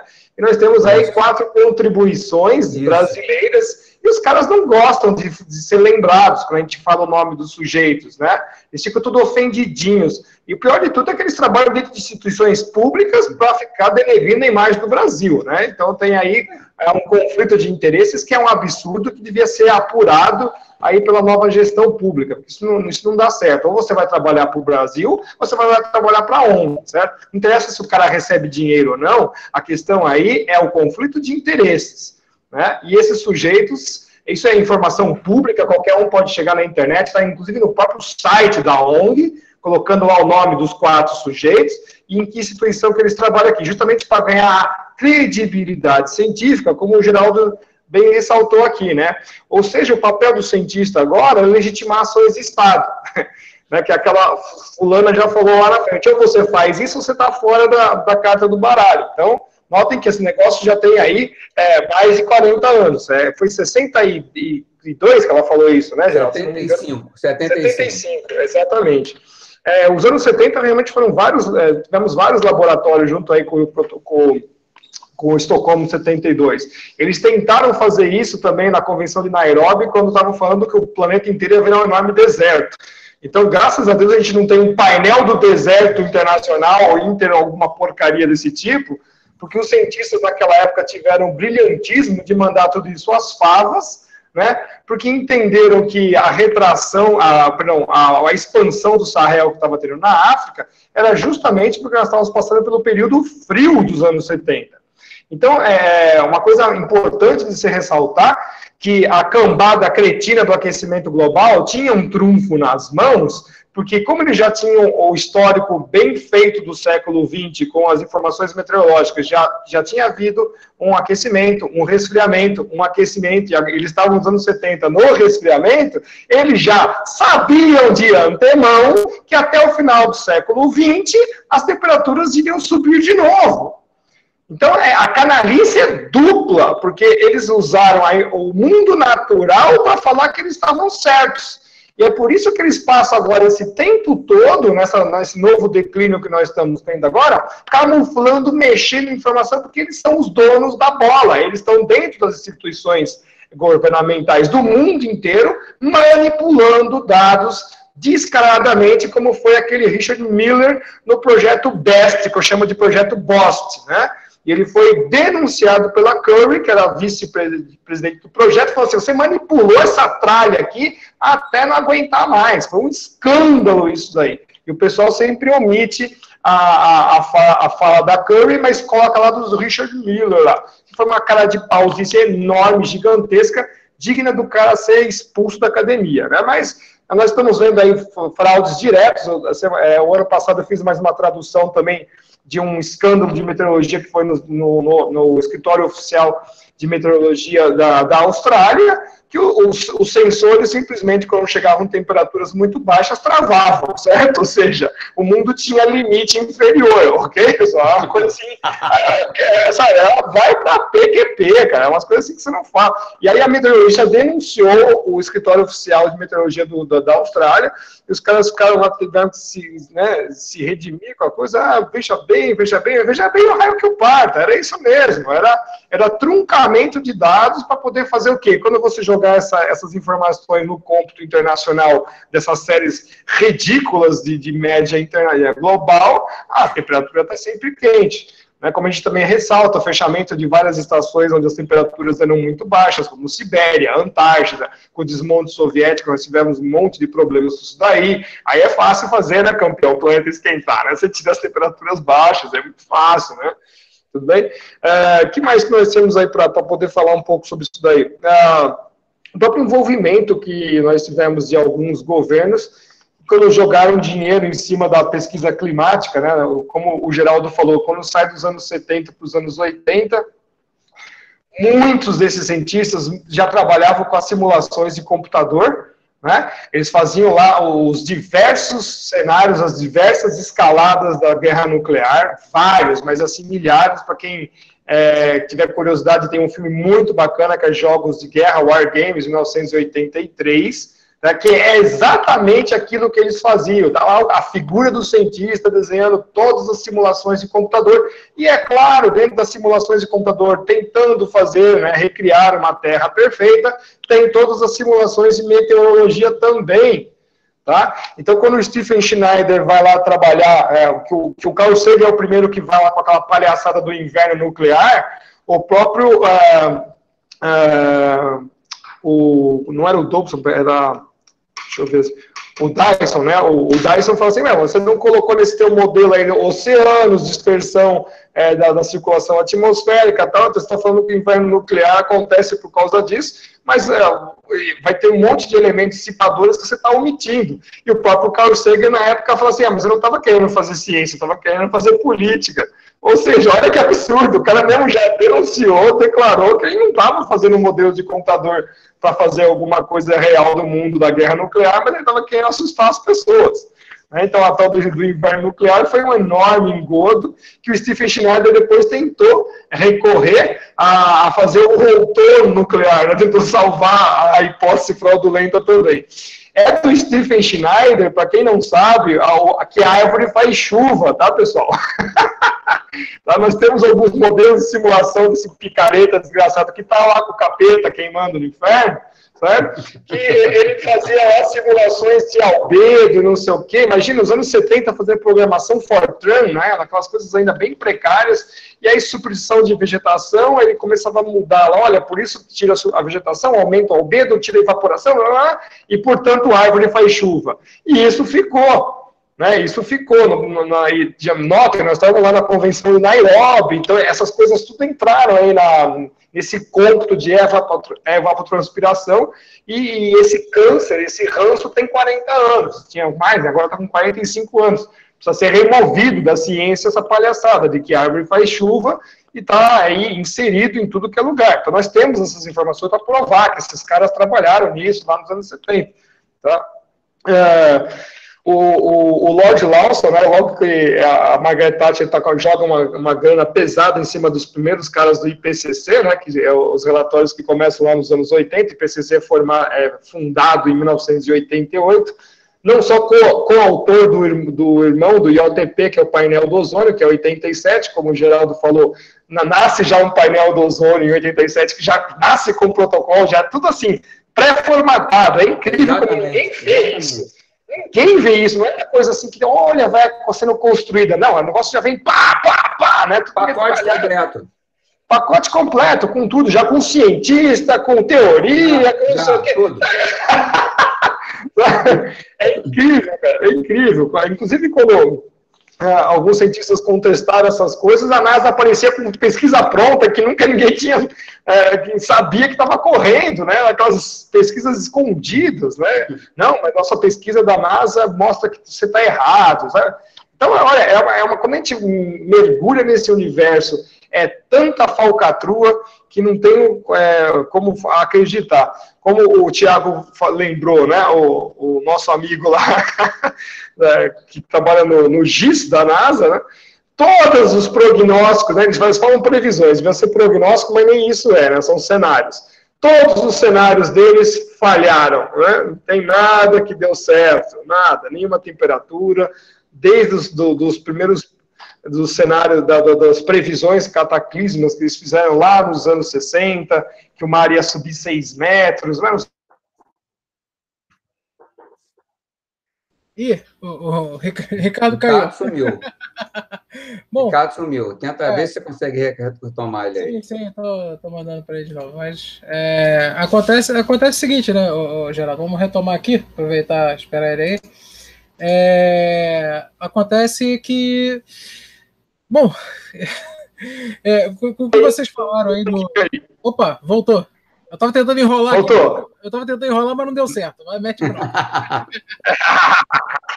Onde é que eu parei aí que caiu de vocês aí? Do Lord Lawson? Tá falando do Lord Lawson, exatamente. Da Tati. É, o do, a Margaret Thatcher falou assim: ah, vamos, vamos pôr um dinheiro em cima desses caras aí da, da pesquisa, porque o CO2 tinha o problema, ela já sabia o problema lá do CO2, de aquecer o planeta e tal encheram a grana dos caras do primeiro relatório do IPCC, dos quais muitos dos céticos hoje ao IPCC faziam parte, e quando o Lord Nelson pega os resultados do primeiro relatório do IPCC, ele fica surpreso. Ele fala vocês dizendo que vocês não entendem nada do clima, vocês não sabem nada, que é coisa extremamente confusa, complicada, etc. E tal. Ele ficou surpreso com o resultado é, que, que a ciência tinha naquele momento, do que, que eram as condições climáticas do planeta. E vejam, passados aí 30 anos, quando você lê os, os relatórios do PCC grandão, né, os grandões, eles continuam falando a mesma coisa. A mesma coisa, a mesma coisa. A mesma e coisa. dinheiro, mais dinheiro que a gente quer. As incertezas aumentaram porque nós pusemos algumas variáveis novas. Cara, para que, que eu faço ciência que ao invés de fechar meu leque de possibilidades, eu aumento? Não tem sentido. É, isso porque, é, isso, na verdade, isso é fácil de explicar, porque o IPCC ele foi, ele foi, é, é, ele foi criado para produzir um resultado já predeterminado.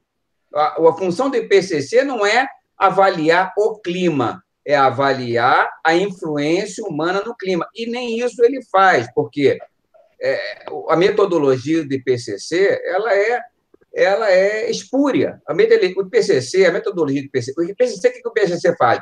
A maioria das pessoas e acho que vale a pena enfatizar isso, acho que PCC faz ciência, não faz. O IPCC faz colagem de figurinhas. Relatório do IPCC são colagens de figurinhas. É juntar é, artigo científico.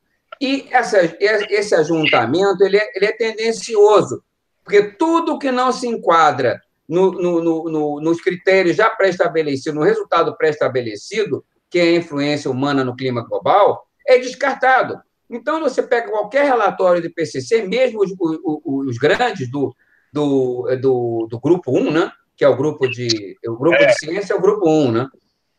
Ou do grupo 1, que são os calhamaços lá de, de, de, de mil e não sei quantas páginas.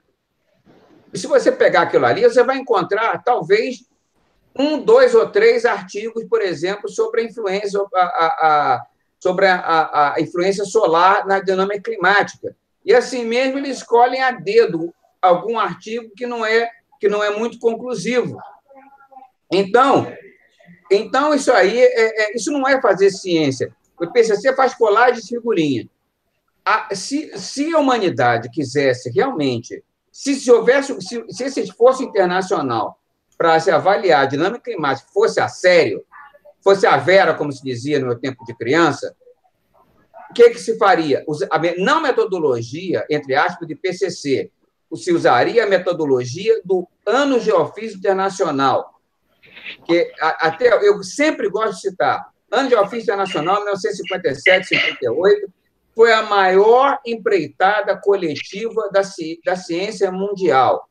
Em plena Guerra Fria, no auge da Guerra Fria, 66 países do mundo uniram esforços dos dois, de todos, de todos os quadrantes do planeta, além aquém da cortina de ferro, entraram, é, é, seja, uniram esforços para estudar o planeta, estudar a geofísica do planeta. E foram criados protocolos de estudos da atmosfera, da, da, da, da criosfera, da, da, da, da superfície gelada, dos oceanos, todos os aspectos da, da, da, da geofísica da, da, Terra foram, é, foram estudados. E, eram, e, e eram, foram feitos protocolos para realização de, de observações e experiências feitas simultaneamente em vários lugares do planeta, com protocolos pré-determinados.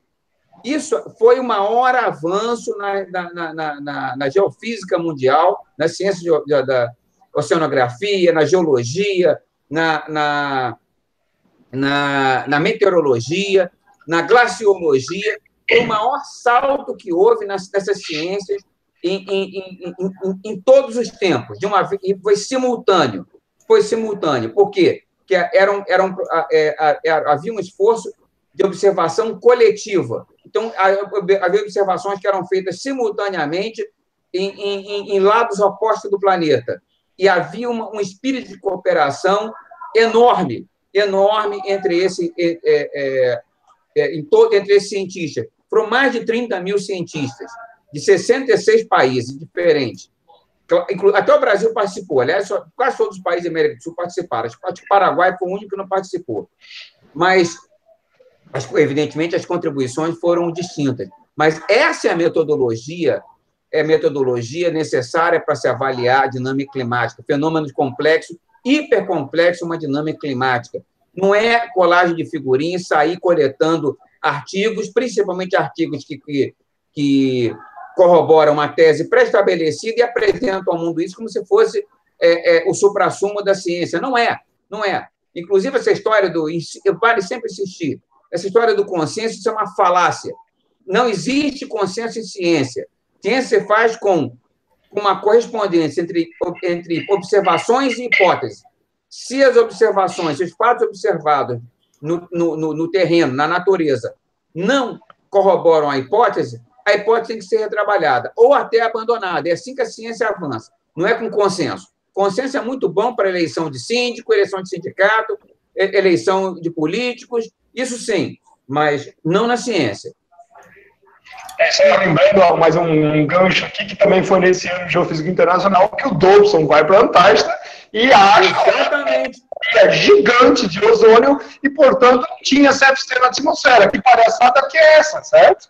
Exatamente, exatamente. No meu livro da fraude, aquecimento global, eu tenho um, um, eu coloco um apêndice que mostra as pesquisas na, não eram do Dobson, não, eram, eram, eram da, da, missão, da missão científica francesa, na Antártida, na estação de Dumont-D'Urville, que mostra, lá mostra claramente as medições de ozônio feitas com três métodos diferentes, mostrando variações enormes em, em 24 horas, mas inclusive com medições muito abaixo do nível do tal de buraco, que não é buraco coisa nenhuma.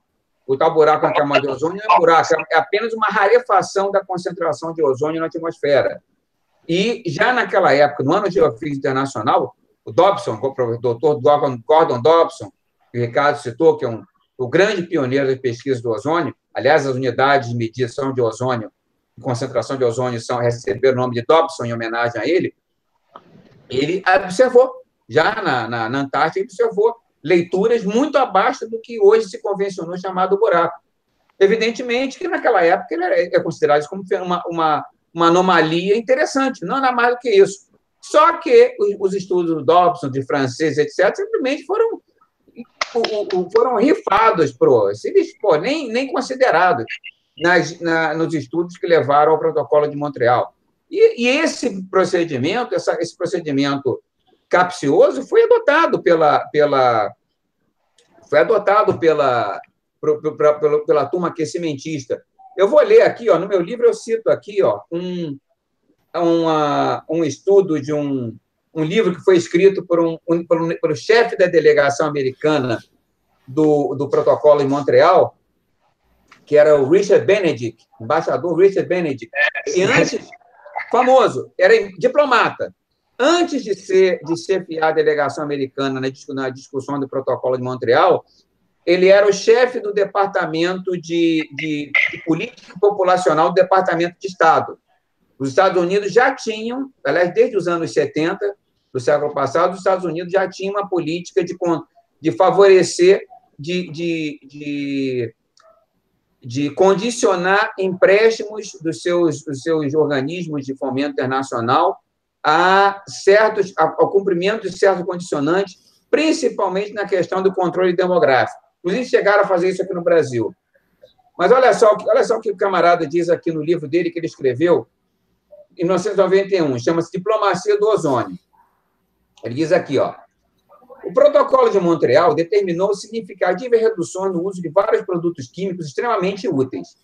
Pela sua ação, os países signatários assinaram a sentença de morte para uma importante parte da indústria química internacional, com implicações de bilhões de dólares em investimentos e centenas de milhares de empregos em setores correlatos. O protocolo simplesmente não prescreveu limites para esses produtos com base na melhor tecnologia disponível, que teria sido a maneira tradicional de reconciliar objetivos ambientais com os interesses econômicos. Preste atenção no que ele diz. Em vez disso, os negociadores estabeleceram datas limite para a substituição de produtos que haviam se tornado sinônimo de padrões de vida modernos, refrigeração, conservação de alimentos, etc. Ainda que as tecnologias requisitadas ainda não existissem. Na, na época das negociações da assinatura do protocolo, não existia nenhuma evidência de problemas mensuráveis. Assim, ao contrário de acordos ambientais do passado, o tratado não foi uma resposta a acontecimentos ou eventos prejudiciais, mas uma ação preventiva em escala global. Aí adiante, alguns parágrafos adiante, olha o que ele diz.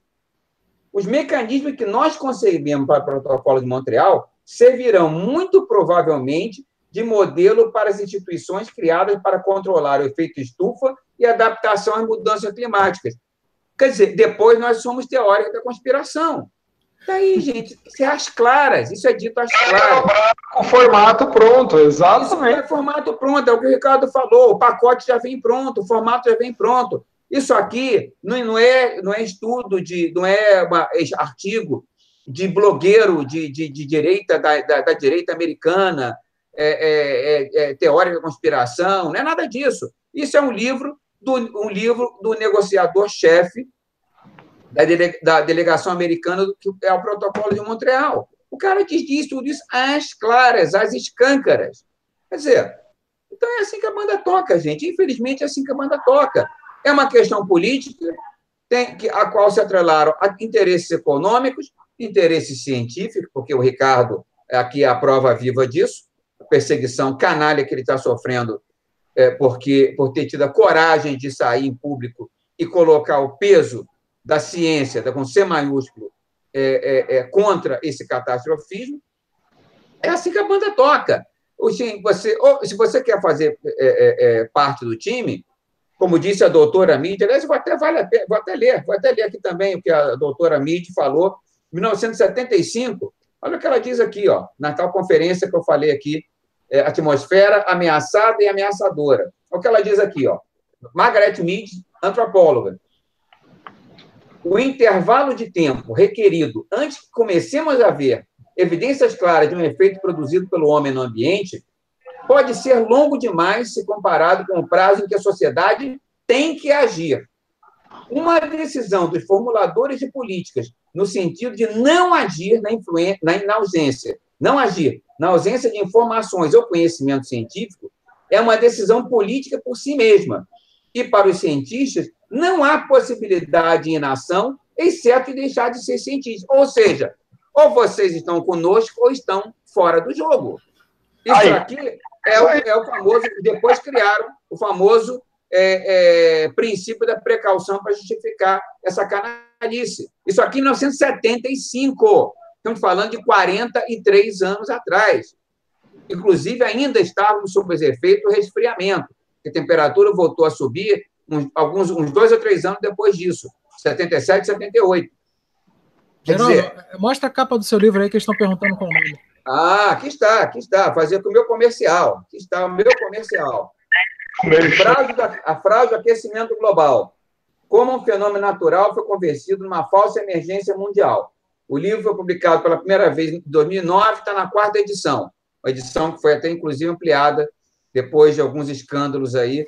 E aqui, na quarta edição, nós, nós acrescentamos uma carta aberta é, do qual eu e Ricardo fomos signatários, junto com mais 27 é, cientistas. Eu não sou cientista, mas eu, as outras 27, o Ricardo é, os outros 27 signatários eram uma carta que foi enviada ao então ministro da Ciência e Tecnologia, Aldo Rebelo, assim que ele assumiu o ministério, é, chamando atenção para essas questões.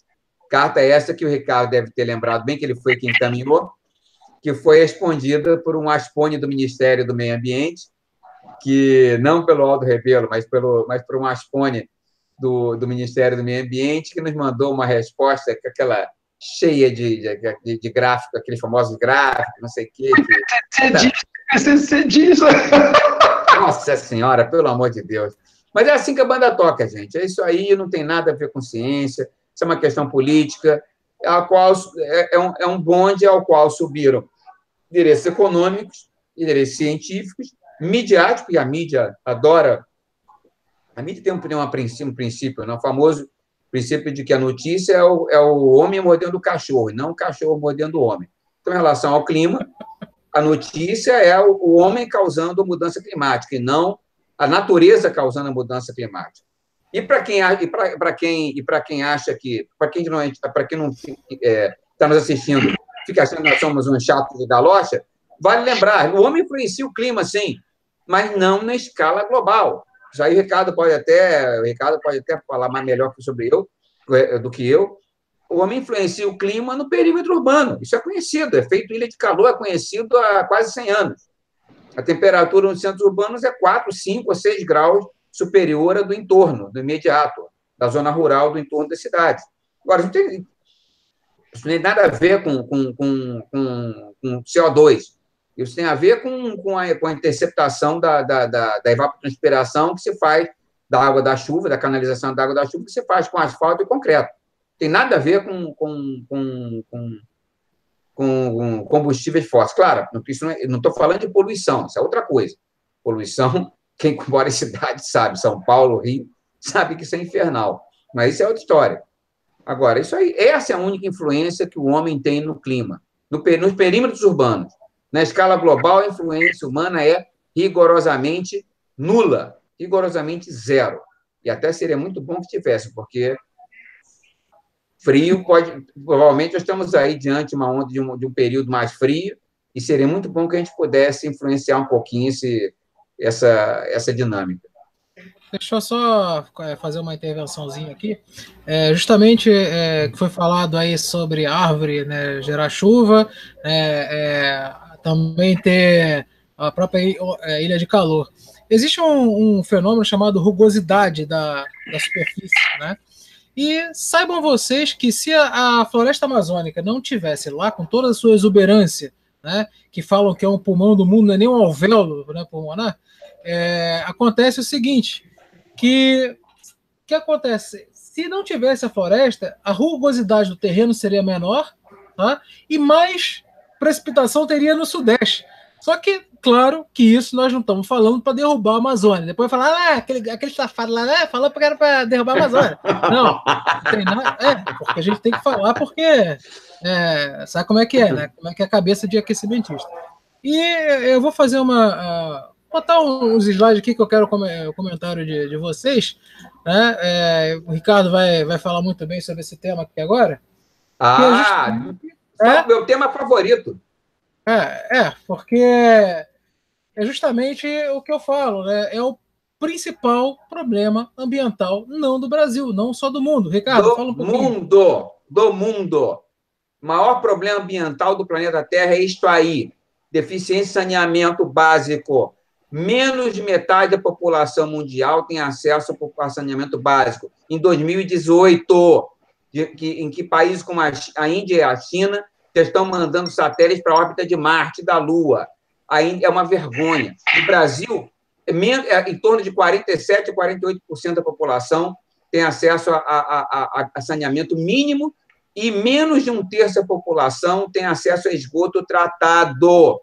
O Brasil é centésimo, décimo segundo em 200 países do mundo, é, é, em uma lista, numa lista de 200 países do mundo, em, em, em, disponibilidade de saneamento básico das populações. Ah, mas nós estamos preocupados com o clima em 2050. Estamos preocupados com o nível do mar de 2120. E isso aí, ó, isso aí eu nunca, olha, com exceção da fundação da SOS Mata Atlântico, fez uma campanha há uns anos atrás, há uns dois, três anos atrás, sobre saneamento, sobre saneamento básico, é, principalmente lá em São Paulo, que tem lá o Tietê, né? É, mas Fora, fora essa, eu nunca vi. Eu estou nessa, eu tô nessa, nessa brincadeira aí há 30 anos. Eu já fui consultor ambiental. Eu nunca vi nenhuma ONG ambientalista das grandes, Greenpeace, WWF, Instituto Socioambiental, Raio Parta, nunca vi nenhuma dessas ONGs fazendo campanhas sobre, eh, eh, sobre saneamento básico, com ainda com uma fração da estridência que elas usam para falar sobre questões climáticas. Isso aí, ó. Isso aí sim é um problema ambiental de primeira ordem, é o maior de todos. Não é desmatamento da Amazônia, do Cerrado, não é aquecimento, não é, não é combustível fóssil, não é droga nenhuma. Este aí é o maior problema de, de, de, ambiental do planeta. E as tecnologias é, é, requeridas para se enfrentar esse problema sério não são tecnologias desenvolvidas pela NASA, não são tecnologias que precisam ser desenvolvidas pelo ITA, pelo IME aqui no Brasil são tecnologias que estão ao alcance de qualquer empreiteira de engenharia de, de, de porte médio e são conhecidas há mais de 100 anos. Professor Ricardo? Exatamente. É, não, exatamente, porque a, a, própria natureza sabe como se livrar disso daí. É só você estimular. É o que realmente faz as estações de tratamento de água. Você vai oxigenando, as bactérias vão se reproliferando, vão destruindo ah, o material orgânico. Então, a gente sempre fala, se você toma cuidado de não contaminar a água com metais pesados, essas outras coisas, o saneamento básico é uma coisa muito olha só, olha só, olha só, isso é, olha só, isso é vergonhoso, isso é vergonhoso. Nós estamos em 2018, gente. Isso aqui, ó, isso é vergonhoso. Isso é uma fotografia atual de alguma, alguma favela, de uma palafita, que deve ser Recife, isso. É isso aqui, ó. Isso aqui todo mundo sabe. Para cada real investido em saneamento, o país economiza quatro em saúde. Os, subprodu os subprodutos disso em, em saúde, em horas, em horas, o custo dessa, desse negócio, em horas não trabalhadas, etc., é, é, é, é em saúde, em despesa de saúde, é enorme. Um terço das, um terço das internações de crianças de até 5 anos no SUS se devem a isto aqui, deve a doença transmitida pela água. Nós ainda estamos discutindo isso. E ainda se fala, se não, ainda se fala que ah, a cobertura para isso é, é, é, é, não temos recursos. Espera aí, faça meu favor. Faça meu favor. Não tem recurso, não. Não tem vergonha na cara. Não, que não se tem, o que falta não são recursos, nem financeiros, nem humanos, nem, nem tecnológicos. O que falta é vergonha na cara. Tá aí, ó. Aí, isso aí, isso aí. Evolução da, da cobertura de água e esgoto. Tá lá, ó. 50,3 em 2015. Olha só, olha a curva. Olha, olha a inclinação da curva. Olha a inclinação da curva. Sabe quando é que a gente vai? Parece uma assíntota. Se, se continuar nesse ritmo, sabe quando é que nós vamos ter cobertura 100% da, de saneamento básico no Brasil? Nunca. Nunca. Aí, ó, o único é aqui, ó, Instituto do Brasil, é uma ONG de São Paulo. Claro, pelo nome você pode imaginar que ela é dedicada ao assunto. É a única. Todo ano, o Instituto do Brasil publica um relatório e ficam se esgoelando, aí ganha manchete na, na, no, manchete na mídia, por um ou dois dias, e acabou. Aí espera o, o relatório do ano seguinte. E os caras ficam pregando no deserto. Eu, mas mas eu, eu, eu, nunca vi, eu insisto. Eu nunca vi. Mas isso é só coleta do esgoto ainda, hein? Olha só, né? ainda nem é tratamento. É, isso é só é coleta, é só coleta. Só coleta. Tem tratamento, é, é menos de um terço, menos de 30%. Bem menos de 30%. É, vou é, mostrar aí para o pessoal né, que isso que realmente devia ser, ser atentado. Mas voltando ao nosso, ao nosso tema inicial, professor Ricardo, é, qual a importância desse cidadão aí para a meteorologia? Ah, ah, aí tá. Pai da meteorologia moderna. Aí está. É, isso aí é um slide bacana, né? É, e principalmente cedido, cedido pelo senhor, né? Muito obrigado. Ah, é no livro dele, Climate What's Expected, ele coloca, a explica que a partir da definição mais básica de clima como algo essencialmente dinâmico, seria impossível falar em mudança climática, pois a própria ideia de mudança está implícita na ideia de clima. É sensacional isso. Exatamente. Esse cara era um gênio. O Loris era um gênio. O cara escreveu. Eu tenho a é. coleção toda de artigos do cara. É um absurdo. Ó, tempo meteorológico recorre constante a uma explicação básica. Não conseguimos registrar todos os processos atmosféricos com perfeição. Então é impossível prever os estados subsequentes, né, como ele está colocando aí. Então você imagina só, se na própria meteorologia, que é uma coisa extremamente dinâmica, imagina no clima que você ainda vai ter um monte de outros fatores conhecidos e desconhecidos para projeções de 100 anos. O cara rolava de rir mesmo. Essa palhaçada. Ô, Ricardo, é, fala um pouco mais devagar, que teu áudio está dando umas falhadas às vezes. É, aqui, outra, outra aqui, ó, também conhecido nosso, né? É, meu, meu colega de profissão, né? O doutor Riva. Né? Ele fala justamente, né? Eu sou um cético. O aquecimento global está se tornando uma nova religião. Não supõe que seja contra o aquecimento global. Você basicamente não tem escolha. Né? Eu já digo quando cientistas que apoiam isso. Mas o número de cientistas não é importante. É a única coisa que importa é se os cientistas estão corretos. Exatamente. Esta Exatamente. é a parte importante. É que Exatamente. o Geraldo falou do consenso. Né? O consenso ele não é, um, não é uma pauta. Não é um conceito científico. É, não é um conceito, ele é justamente um conceito que social e político, acabou. Exatamente. E, e usar isso, e usar isso como cientista, tá, você está fazendo uma fraude. Tá? Você simplesmente está fazendo o quê? Está negando completamente a ciência. Depois nos chamam de negadores, né? Negacionista, negacionista. É. Engraçado que o, o Dr. Gaiva, ele fala uma coisa, acho que ele, ele é conhecido pelos supercondutores, né? É, ele falou que agora ele, ele, passou a ser conhecido por causa do aquecimento global, não é mais pelo que ele trabalhou. E, e, e, aí depois vem essas matérias idiotas, né? Ó, gás carbônico deverá deixar os peixes bêbados, né? Ô, ô, ô, Tiago, se você ficar mostrando essas slides disso aí, a gente vai ficar aqui até o seu programa da semana que vem mostrando direto porque não falta matéria-prima para isso. É, aqui, aqui é um livro de física, né, que mostra o nível de CO2, né? Aí, CO2 é maravilhoso. É, aí fala que o, C, o, o, CFC, além de destruir a camada de ozônio, né, ele provoca efeito estufa. É, não sei como é que ele vai parar lá em cima, mas tudo bem. É, não, mas a nuvem de CO2 aqui é brincadeira. Ah, esse aqui. Eu tenho, um livro, eu tenho uns livros didáticos aqui que são É, é isso aí que a gente falou, né? É, sem florestas não tem árvore. Aí tem uma torneira na árvore aqui, ó. A torneira é um cacto, a árvore. Porra, é, é brincadeira, né? É brincadeira. É piada, é bom. Aí, olha aí, Geraldo, a parte histórica que eu achei. Publicação da Folha da Noite de 19, é, 1957. Aí. né? Aí, fala, olha, o crescente teor, de- eh, teor de gás carbônico na atmosfera poderá conduzir à fundição das calotas Fundição das polares. calotas polares. Aí é que passaram 60. Essa é que fala seis metros. O doutor, o professor Conte conseguiu no acervo do jornal. Isso. Ou seja, os anos faltam para eles a- acertarem, ter a chance de acertar. É, faltam cinco anos para eles acertarem, entendeu? Faltam cinco anos, estamos esperando, né? Vamos lá. E essa aí, eu e o Ricardo fizemos um, um vídeo maravilhoso sobre isso. Assistam. Né, Ah, é aliens, ótimo, esse eu gosto, esse é ótimo, essa. os É aliens podem destruir ó, por causa do aquecimento global. Isso aí tá aí, ó. Pesquisador da NASA falou Porra. isso. É. Isso, isso não, é, é- não dá nem, não, nem o que dizer. Ah, e esse daí agora? Ah, o, o causa do, do pum das vacas. né? Esse, desgraçado aqui, ó. Esse Cara, desgraçado porra, aqui. coitado da vaca. É, então bota isso no rabo dele, não da vaca. Porra. Cara, puta, vou te Aí, aí, contar. aí- aí vem, né? Um pinguim, um urso polar, né? Se encontrarem e falar com a vaquinha, né? Sinto muito, mas não posso atender suas re- reivindicações. Ah, vai pra porra. Cara, não, não é sério, cara, não é sério. Não, é só, só rindo, é só rindo mesmo. Isso aí só rindo mesmo. Aí vem aí, ó, pra, pra nossas É. criancinhas. Começa assim, começa assim.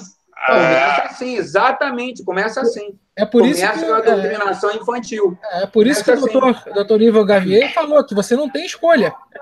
Entendeu? Agora, tem uma, uma ressalva a fazer, né? Que eu acho estranho, porque eu tenho as revistinhas da, da turma da Mônica que foram institucionais, ou seja, o governo pagou para fazer nos anos 70, em que eles estão falando sobre água, sobre lixo, né? As coisas tudo direitinho, como você podia fazer para ter as coisas. Aí depois começou com esse negócio de lavagem cerebral, que é lamentável. É? Não, Aí- assim funciona. É. Aí, né, aquela foto também que o Ricardo me passou. ó. Senhor cliente, devido ao aquecimento global, as sacolinhas descartáveis serão utilizadas corretamente, né? O uso abusivo será cobrado por sacolinha por 5 centavos. O meio ambiente agradece. Né? Faça meu favor, né, cara? Faça meu favor. Eu fico pensando o que deve ser o uso abusivo de sacolinha. Não sei, se você pegar e ficar na cabeça, sair gritando pela rua, um negócio assim. Não é possível, cara. sabe? É. Aí, né, aquele, né, o relatório, né, Butler, né, que o lixo do espaço, limpeza urgente, mas é custosa. né? Então, agora lá, a Terra tá assim, ó, tá um lixo lá fora. né? Isso aí, isso aí, olha, isso aí é um problema sério. Isso aí é um problema sério. É, que vai- ter que fazer, vão ter que dar um jeito, porque realmente tem uma, tem, é uma quantidade enorme de fragmentos satélites, de, de, é, é, de naves espaciais é, rodando por aí. Embora pareça uma coisa que não inco- não incomode muito, mas nem sempre esses fragmentos podem ser detectados a uma distância segura para uma nave espacial desviar, até porque a nave espacial não desvia com muita facilidade. E Mas, nem- Geraldo, e ah, ah. muitas vezes nem pode. Eu Mas- sei, mas, o, que, o que eles, Discurso político do negócio. o que né? eles estão falando aqui é o seguinte: a, a, a órbita de, de posicionamento de satélite é muito grande. Não, não, não tá essa, essa calamidade aqui que eles ficam Não, falando. não, isso aí é- isso não acontece. Não, isso aí é só, isso, tá- isso aí está a- amplificado, isso está a amplificado para a mostrar maioria- posições. Não, mas a Claro maioria A cai na, ordem de grandeza não é essa, ela, evidentemente. ela cai na terra e vira pó. Não é, não é bem assim que eles falam, não. Não, mas não é cair na Terra. O espaço eu Isso- conheço, porra. É o perigo para as próprias naves espaciais. É. Um, um fragmento pequeno de, um, de, um, de, uma, de uma outra nave pode rasgar uma, uma, uma, o casco de uma nave maior, mas, mas isso aí, mas, tudo bem, não, não, tem, não, é, não é catastrófico, não é alarmante, é um problema, digamos, preocupante, mas não que tem que ser enfrentado, vai ter que ser enfrentado em algum momento. Mas não, não é assim, nada de. O uso político dele, Geraldo. O uso político dele para fazer o painel do espaço. É isso que eles estão em mente. que Ah, já sim, tá, sim. né, no livro Branco de Defesa Nacional já está isso, que eles querem pegar o espaço aéreo dos países. Já está declarado isso lá. é, Foi em 2008 que eu peguei esse material e já, a gente já sabe que é isso que vai ser usado. Ah, sim, Né? sim, mas é outra história, isso não tem nada a ver com. É outra história. Então, continuando, aí o, o Dr. John Christie, né? Departamento de Ciência Atmosférica, é, é, extremamente frustrante para um cientista ver na mídia que cada desastre meteorológico está sendo acusado de, é, de mudanças climáticas, quando, na verdade, esses eventos fazem parte né, da variabilidade natural do sistema climático. É isso aí. Cientista é? de, com C maiúsculo, cara. O Dr. Chris é um dos grandes climatologistas. Aliás, não é nem climatologista, acho que ele é especialista em, em furacões, não é isso, Ricardo? Não, não, ele é de, ele é de atmosfera superior. Ele atmosfera superior, tá. satélites, é. Ah, tá, tá. É, e agora vem um, um, um slidezinho que o professor Ricardo né, é, passou, eu dei uma aprimorada nele, uma coisinha é pouca, né? Mas é isso aí. O é, é, que, que eles querem? Né? Que os vulcões, né, que o próprio oceano, né, aqui os tsunamis, o professor Milhão conta que na década de 40 teve um tsunami que virou a fase do, do Pacífico, né? então em vez de aquecer, resfriou. Né? É, Mas esse Lua... tsunami aí é de Hollywood, hein, pô? É, não, é Hollywood. Esse aí é de Hollywood, pô. a Lua, né? E o próprio Sol, né? Tudo isso né? é um, um homem que é o. Claro, né? claro. Aí, claro. Como, aí, como o professor Ricardo gosta de dizer, né? Ó, oh, eu sou bom não, demais. Somos federais. somos federais. É, que na verdade é o contrário essa balança, né? Nós sofremos o efeito disso tudo aqui, né, em vez de ser o causador. Né? Claro, né? claro. Uma coisa muito interessante, né, que foi, uh, opa, foi tradução da professora Daniela, da Daniela Mercury, Daniela Onça, né? desculpa, Daniela, né, da, da Daniela, Daniela, desculpa, Daniela Onça. É, então, que foi o seguinte, né, que foi um sumário, né, pro, do IPCC. Ricardo, explica o que é esse sumário aqui, por favor. Ah, esse daí é, é, um resumo para políticos analfabetos, que é lançado para todos eles lerem, já que eles não vão ler o relatório grandão, que também não iam entender absolutamente nada.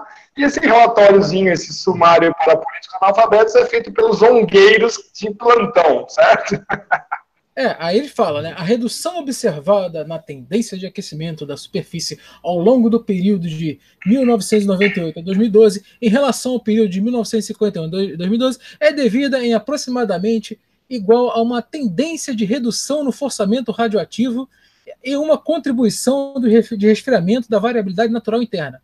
Uau, né? Legal. Até aí, né? é, e é, que inclui uma possível redistribuição de calor dentro do oceano, né? Confiança média. Gente, quem é que, se o cara me escreve, eu estou sou de uma empresa, o cara me escreve confiança média, ele está na rua. Como é que ele me fala? Ele me manda um relatório, ah, ah desculpa aí, mas a confiança é média. Caraca, você está na rua. Entendeu? Aí tá. A tendência reduzida no forçamento radioativo é principalmente devido às erupções vulcânicas. Ah, tá, né? E a fase descendente do ciclo solar de 11 anos. Ah, legal, né? Beleza, tudo beleza. Agora, no entanto, há pouca confiança na, na quantificação do papel das mudanças no forçamento radioativo em, causa, em causar essas tendências reduzidas no aquecimento. Caceta! O cara vem e me fala confiança média e pouca confiança. Até agora eu só li lixo. É? Então, que confiança é essa? A confiança média, confiança, pouca confiança? Porra, peraí, né, meu? Aí tá. A, a, a confiança. Okay, me perdi. A confiança média entre a variabilidade natural decadal interna causa que, substancialmente, a diferença entre as observações e as simulações não se espera que estas últimas reproduzam a temporização da variabilidade natural interna. O que, que é aqui? Está dizendo que o modelo não presta. Exatamente. Acabou de falar, ele, ele cagalhou todo o resto do relatório. Pode jogar tudo fora que nós estamos perdendo tempo. Exatamente. Né? Aí também pode haver uma contribuição de inadequações dos forçamentos e, em alguns modelos, uma superestimativa da resposta ao aumento dos gases de efeito estufa e outros forçamentos antropogênicos, dominados pelos efeitos dos aerosóis. Ou seja, o que, que faz com um negócio desse? Joga no lixo. É. Joga no lixo. Ou seja, eles falaram o quê? Eu não, não sei de nada e meus modelos são lixo. Pois é. é. É um absurdo. Quer dizer, eles não conseguem aquecer a Terra mais com os modelos, porque o mundo natural está resfriando. Eles falam assim: não dá mais para a gente simular mais nada aqui que aqueça, tá aí, né? Porque tá tudo isso aí está gerando superestimativas, inadequações. Portanto, estamos conf, é, confessando que todo o nosso trabalho dos últimos 30 anos é uma fraude. Exatamente. É uma fraude. É uma, é uma, é uma saída francesa do negócio que é uma fraude, está tudo florido. Mas é uma assinatura de que é uma fraude. Isso tem que ser mostrado para todo mundo aqui no Brasil. Esses caras são uma fraude. Eu quero a conta do dinheiro de volta. Eu quero o FAPESP, todos os órgãos de, do públicos que deram dinheiro para esses caras, eu quero a conta de volta. Quero 30 anos de dinheiro devolvido aos cofres públicos. É, não. É isso, não, eu quero dinheiro de volta. Vocês enganaram os caras 30 anos, eu quero dinheiro de volta. Se arrume com as ONGs que vocês estão metidos para devolver aos cofres públicos o dinheiro que vocês gastaram com pesquisa. É assim, é assim, é assim que tem que tratar esses caras. É assim, é, acabou. Acabou, vocês estão assumindo que vocês são uma fraude. Não me venha com não estou saco cheio disso daí. Vocês estão assinado aí, vocês assinaram, se não fazem parte, então vocês são fraudulentos. E nós é que somos pseudocientistas. Está escrito aí, o próprio sumário para políticos analfabetos mundiais. Vocês já assumiram que vocês não estão fazendo nada. Acabou a conversa, game over. Game over. Eu quero dinheiro de volta. É dinheiro dos meus impostos. Eu quero dinheiro de volta. Todo mundo no Brasil devia falar para os caras do, do IPCC, do Acordo de País. Eu quero meu dinheiro de volta. Como é que vocês vão fazer para devolver? É, é, não, é, exatamente. E, e, fora as pesquisas né, imbecis que qualquer coisa colocam é, aquecimento global no meio, aí para poder ter, ter verba, né? Como o Geraldo gosta muito de falar, do, do aumento do estupro, né, Geraldo? É, tem tudo, já teve. Da prostituição, né? Tem, tem. É, aumento da prostituição nas Filipinas, aumento de ataques de tubarões no Oceano Índico, é, aumento da, de, de, de, Tem um monte de coisa, tem, tem um diabo, tem qualquer coisa atualmente pode ser causada pelo aquecimento global. É um fenômeno bombril. Tem mil e uma utilidades. Com todo respeito ao bombril. Né? Com todo respeito ao bombril, exatamente. É isso que chamou de aquecimento global, né? Bom, pessoal, é, estamos aqui a, uma hora e cinquenta, quase uma hora e cinquenta minutos falando. É, tempo voou. pra caramba, hein? É, pô, o tempo, o tempo voou. E vou pedir a, a, a, vocês aí que, que dêem considerações finais, começando aí pelo Geraldo. Geraldo, manda a base. Olha, é, isso é, é, o que nós discutimos aí em todas as nossas intervenções aqui, é, em, quando a gente vem, vem discutir questões climáticas, a gente chega às mesmas as mesmas conclusões. Não, isso não é equivale insistir nelas. Isso é, é uma questão política, não tem nada a ver com ciência. É como o Ricardo que enfatizou muito bem. Aí está. Ó, o, o, aliás, eu não conhecia esse, esse, esse, esse documento, do, esse último sumário. É do último, é do último. É do último. Quer dizer, aí está com as próprias palavras deles mesmos, estão admitindo que não tem certeza de coisa nenhuma. Então, ainda assim, a, a, coisa, o, o, o, trem, o trem bala vai adiante, porque é um trem bala lucrativo. É, traz benefício para todo mundo. E ainda tem vantagens políticas, porque é, isso aí já estão. Agora querem, porque querem é, aproveitar a oportunidade para limitar mesmo, colocar uma limitação mesmo nas, na, na, nas emissões, e, e para colocar em prática, expandir para o mundo inteiro o, o mercado de crédito de carbono. Aqui no Brasil já tem a proposta aí para o próximo governo. Eu espero que não, espero que não colhe. Mas é isso aí, não tem. Quando se pede para mostrar as evidências, a gente se depara com isso, depara com farsas, com fraudes, com falsificações, com omissões, com meias verdades. Agora, infelizmente, eu, eu sou eu sou eu sou eu realmente sou cético em relação à possibilidade de, de, de reversão desse cenário no curto prazo eu acho que, infelizmente, vamos ter que esperar que esse, esse vai se esgotar em algum momento no futuro, em um futuro indefinido, eu não sei, não saberia precisar quantos, quantos anos à frente, mas em algum momento esse, esse, esse cenário catastrofista ele vai se esgotar. É, eu provavelmente acho que ele vai se, eu, eu tenho uma, uma, ligeira impressão de ele, vai, ele pode se esgotar, começar a se esgotar quando o sistema financeiro internacional implodir que é algo que não vai demorar muito. Isso realmente não vai demorar muito. E a partir do momento que esses esses centros de poder globais que, aos quais o, o movimento ambientalista e o aquecimentismo em particular estão vinculados, é, a partir do momento que o centro de, de, de, o pilar central do poderio deles, que é o controle das finanças globais, se for contestado, já está sendo, e a partir do momento que ele, for, ele realmente implodir, porque esse sistema ele não tem, ele é instável, eu acho que vai, as ondas de choque vão reverberar em outras áreas e a área ambiental vai ser uma delas.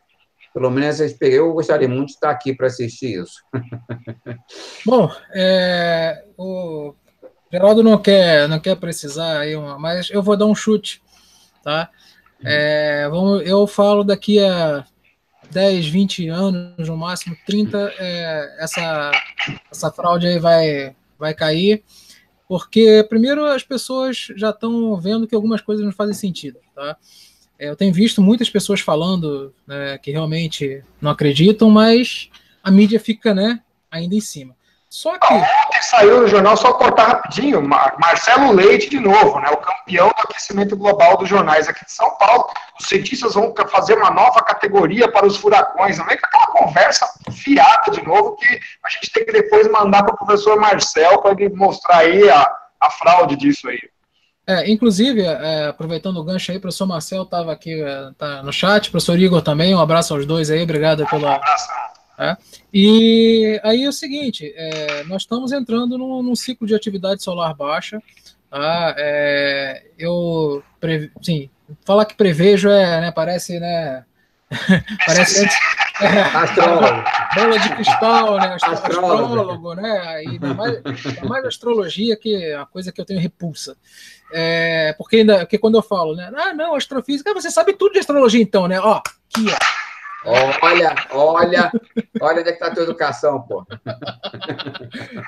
Aí, aí, então é o seguinte, né? As pessoas, as pessoas chegam, né? E estão vendo essa mudança. E justamente o Sol está entrando nesse período de, de mínimo. Nós, esse ano, é, o prognóstico dele é aproximadamente 200 dias sem manchas solares. Tá? Estamos, estamos em 142, 143 agora. Então, é, 56% do ano foi sem manchas solares, e os dias que tiveram mancha solar não passaram de 13, ou seja, é uma atividade muito baixa. Tá? Então, é, a tendência realmente é esse, esse ciclo decair, e existem sete ciclos astrofísicos que estão mostrando a tendência à decadência solar. Sete, tá? Sete ciclos. Depois eu até explico melhor aqui no, no outro vídeo. E é isso aí. Então, é, eu vou deixar gravado aqui, então 10, no máximo 30 anos, gente, eu acredito que as pessoas vão chegar e falar assim, pô, você, tá, você me, foi enganado, estão me sacaneando, né, o, o, os principais né, do, do movimento iniciaram o Molion, Ricardo, Geraldo, que os principais precursores, é, como é o nome daquele da Universidade de Brasília que faleceu? Esqueci o nome dele. Azevedo. Zé Carlos é, Azevedo. O professor Zé Carlos Azevedo também foi um grande combatente, né, e muitos outros, o professor Conte, é, como Suguio, né, exatamente, é, que foram um dos, dos, principais. Tem outro aí que é da UFRJ, mas a gente não, não sei se pode citar o nome dele, né, que é do nosso grupo lá. É, então, é, eu entrei agora há pouco tempo, né, sou, sou um ninguém ainda, mas é, tento dar minha contribuição aqui no canal. Bom, professor Geraldo, uh, professor, professor Ricardo, suas considerações finais. Eu, eu, só, eu só fico com receio, a gente sabe realmente que esse negócio vai acabar, mas naquelas outras conversas que nós já tivemos aqui, o Tiago, o Geraldo, é, sobre o lance das energias, né, dessas, dessas novas fontes uhum. de energia, uhum. isso está dentro do pacote climático. Então, depois, eles estão ganhando os 10, 15 anos que eles vão querer, que eles precisam. Né? Então, infelizmente, vai coincidir também com essa, esse declínio solar, mas é esses 20 anos que está falando aí, professor Thiago, que é o tempo que eles vão conseguir operacionalizar de fato essas novas formas de energia e atrelados aí com o Acordo de Paris, impor essa tecnologia goela abaixo da gente, portanto, vamos ficar eternamente dependentes de uma tecnologia da qual nós não participamos. Aí depois as falas do Acordo de Paris, isso não nem mais vai interessar. Né? Nós vamos ter aí o imposto sobre petróleo, sobre outros assuntos, sobre outros usos, mas as formas de energia vão ser impostas para nós, né, pagando royalties para todo o sempre. E aí nossa ideia de industrialização vai ficar bastante dirimida. Né? Então é esse que é o cuidado que eu sempre falo, porque que, que nós temos que dar o checkmate final no Acordo de Paris ainda nos próximos anos? É justamente para poder participar do clube aí das novas formas de energia, senão, meu amigo, é, já era, é subdesenvolvimento ad eterno, né? É, é isso aí. E, e só para terminar aqui, o professor Ricardo falou, né, negócio do petróleo. É, ano passado, né, é, eu, professor Ricardo, Geraldo e professor Molion, nós fomos é, convidados para ir na Petrobras né, falar é, justamente sobre esse assunto, que estavam querendo taxar em um dólar né, de imposto climático o, o barril.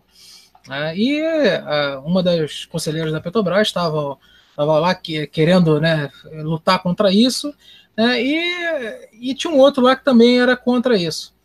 Mas eu achei muito interessante, né, dois figurões, né, uma que estava lá no conselho, que era uma jornalista. É, e o outro, que é, sempre que eu inicio essas palestras, eu pergunto, né, assim, por acaso, é, é, vocês, vocês sabem física? Né? Vocês gostam de física? Quando eu falei vocês sabem física, primeiro eu pergunto se gosta. Normalmente eu escuto né, grilos na sala. E segundo, é, eu pergunto se sabe. É, quando eu gosto, eu levanto a mão. Quando falam sabe, eu abaixo a mão. Porque por mais que eu conheça, né, eu não sei tudo. Aí um cidadão lá com uma empáfia, eu sei, eu sei física. Porra, ele, ele não entendeu isso aqui da minha palestra. Ele não entendeu isso aqui da minha palestra. Ele ficava lá no, no telefone lá falando. Que... Falando com alguém, né? Ah, é, ah, a gente tem cara de idiota, a gente tem, né? E tinha um consultor externo que a gente sabe muito bem quem é os figurões, né? Não, é, exatamente. O cara lá, e depois no final, da, na minha, na, no meio da minha palestra, falou assim: Ah, você pode passar, porque. É, eu falei assim: não, mas olha só, você tem que, tem que é, ver isso para entender. Ou seja, ele não estava entendendo nada, ele estava boiando basicamente nisso aqui que eu passei para vocês, tá? Só que um pouco mais aprofundado, que eu sabia que podia encontrar, né?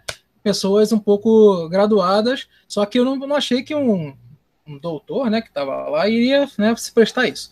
Mas é isso aí, pessoal. É, você vê que o, o, o buraco é mais embaixo.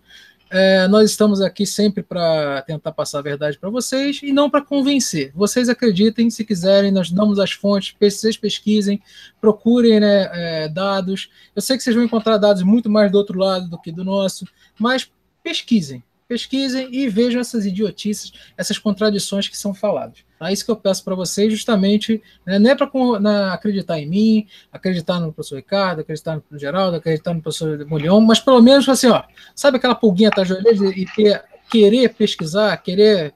É isso que eu quero, tá? Então, é, obrigado, Geraldo. Obrigado, Ricardo. É, Foi um prazer, obrigado. como sempre. Ótimo. Obrigado a todos que tiveram a paciência de ficar até agora. Então, é, para quem né, não, primeira vez, inscreva-se no canal. O professor Ricardo também tem um canal, Ricardo Felício Oficial. Geraldo Lino não tem um canal, né? Já falaram então, aqui no chat. É, já falaram no chat que você tinha que fazer um canal, né? Então, poxa. Vou providenciar. Vou providenciar. Se, não quer, se não quer fazer um seu, faz lá da, da, da MC.org, né? Então fala pelo menos o Twitter aí de vocês. É, não, pode, nós temos tem um site nosso lá, msiainforma.org. E nós temos um, é um site mais político, mas tem uma seção de ambientalismo e uma outra de ciência e tecnologia, que a gente está sempre atualizando. Sempre tem questões interessantes lá. Repetindo aí, www.msiainforma, tudo minúsculo, tudo junto, .org. É isso aí. Bom, mais uma vez, obrigado a todos. Uma boa noite e até a próxima.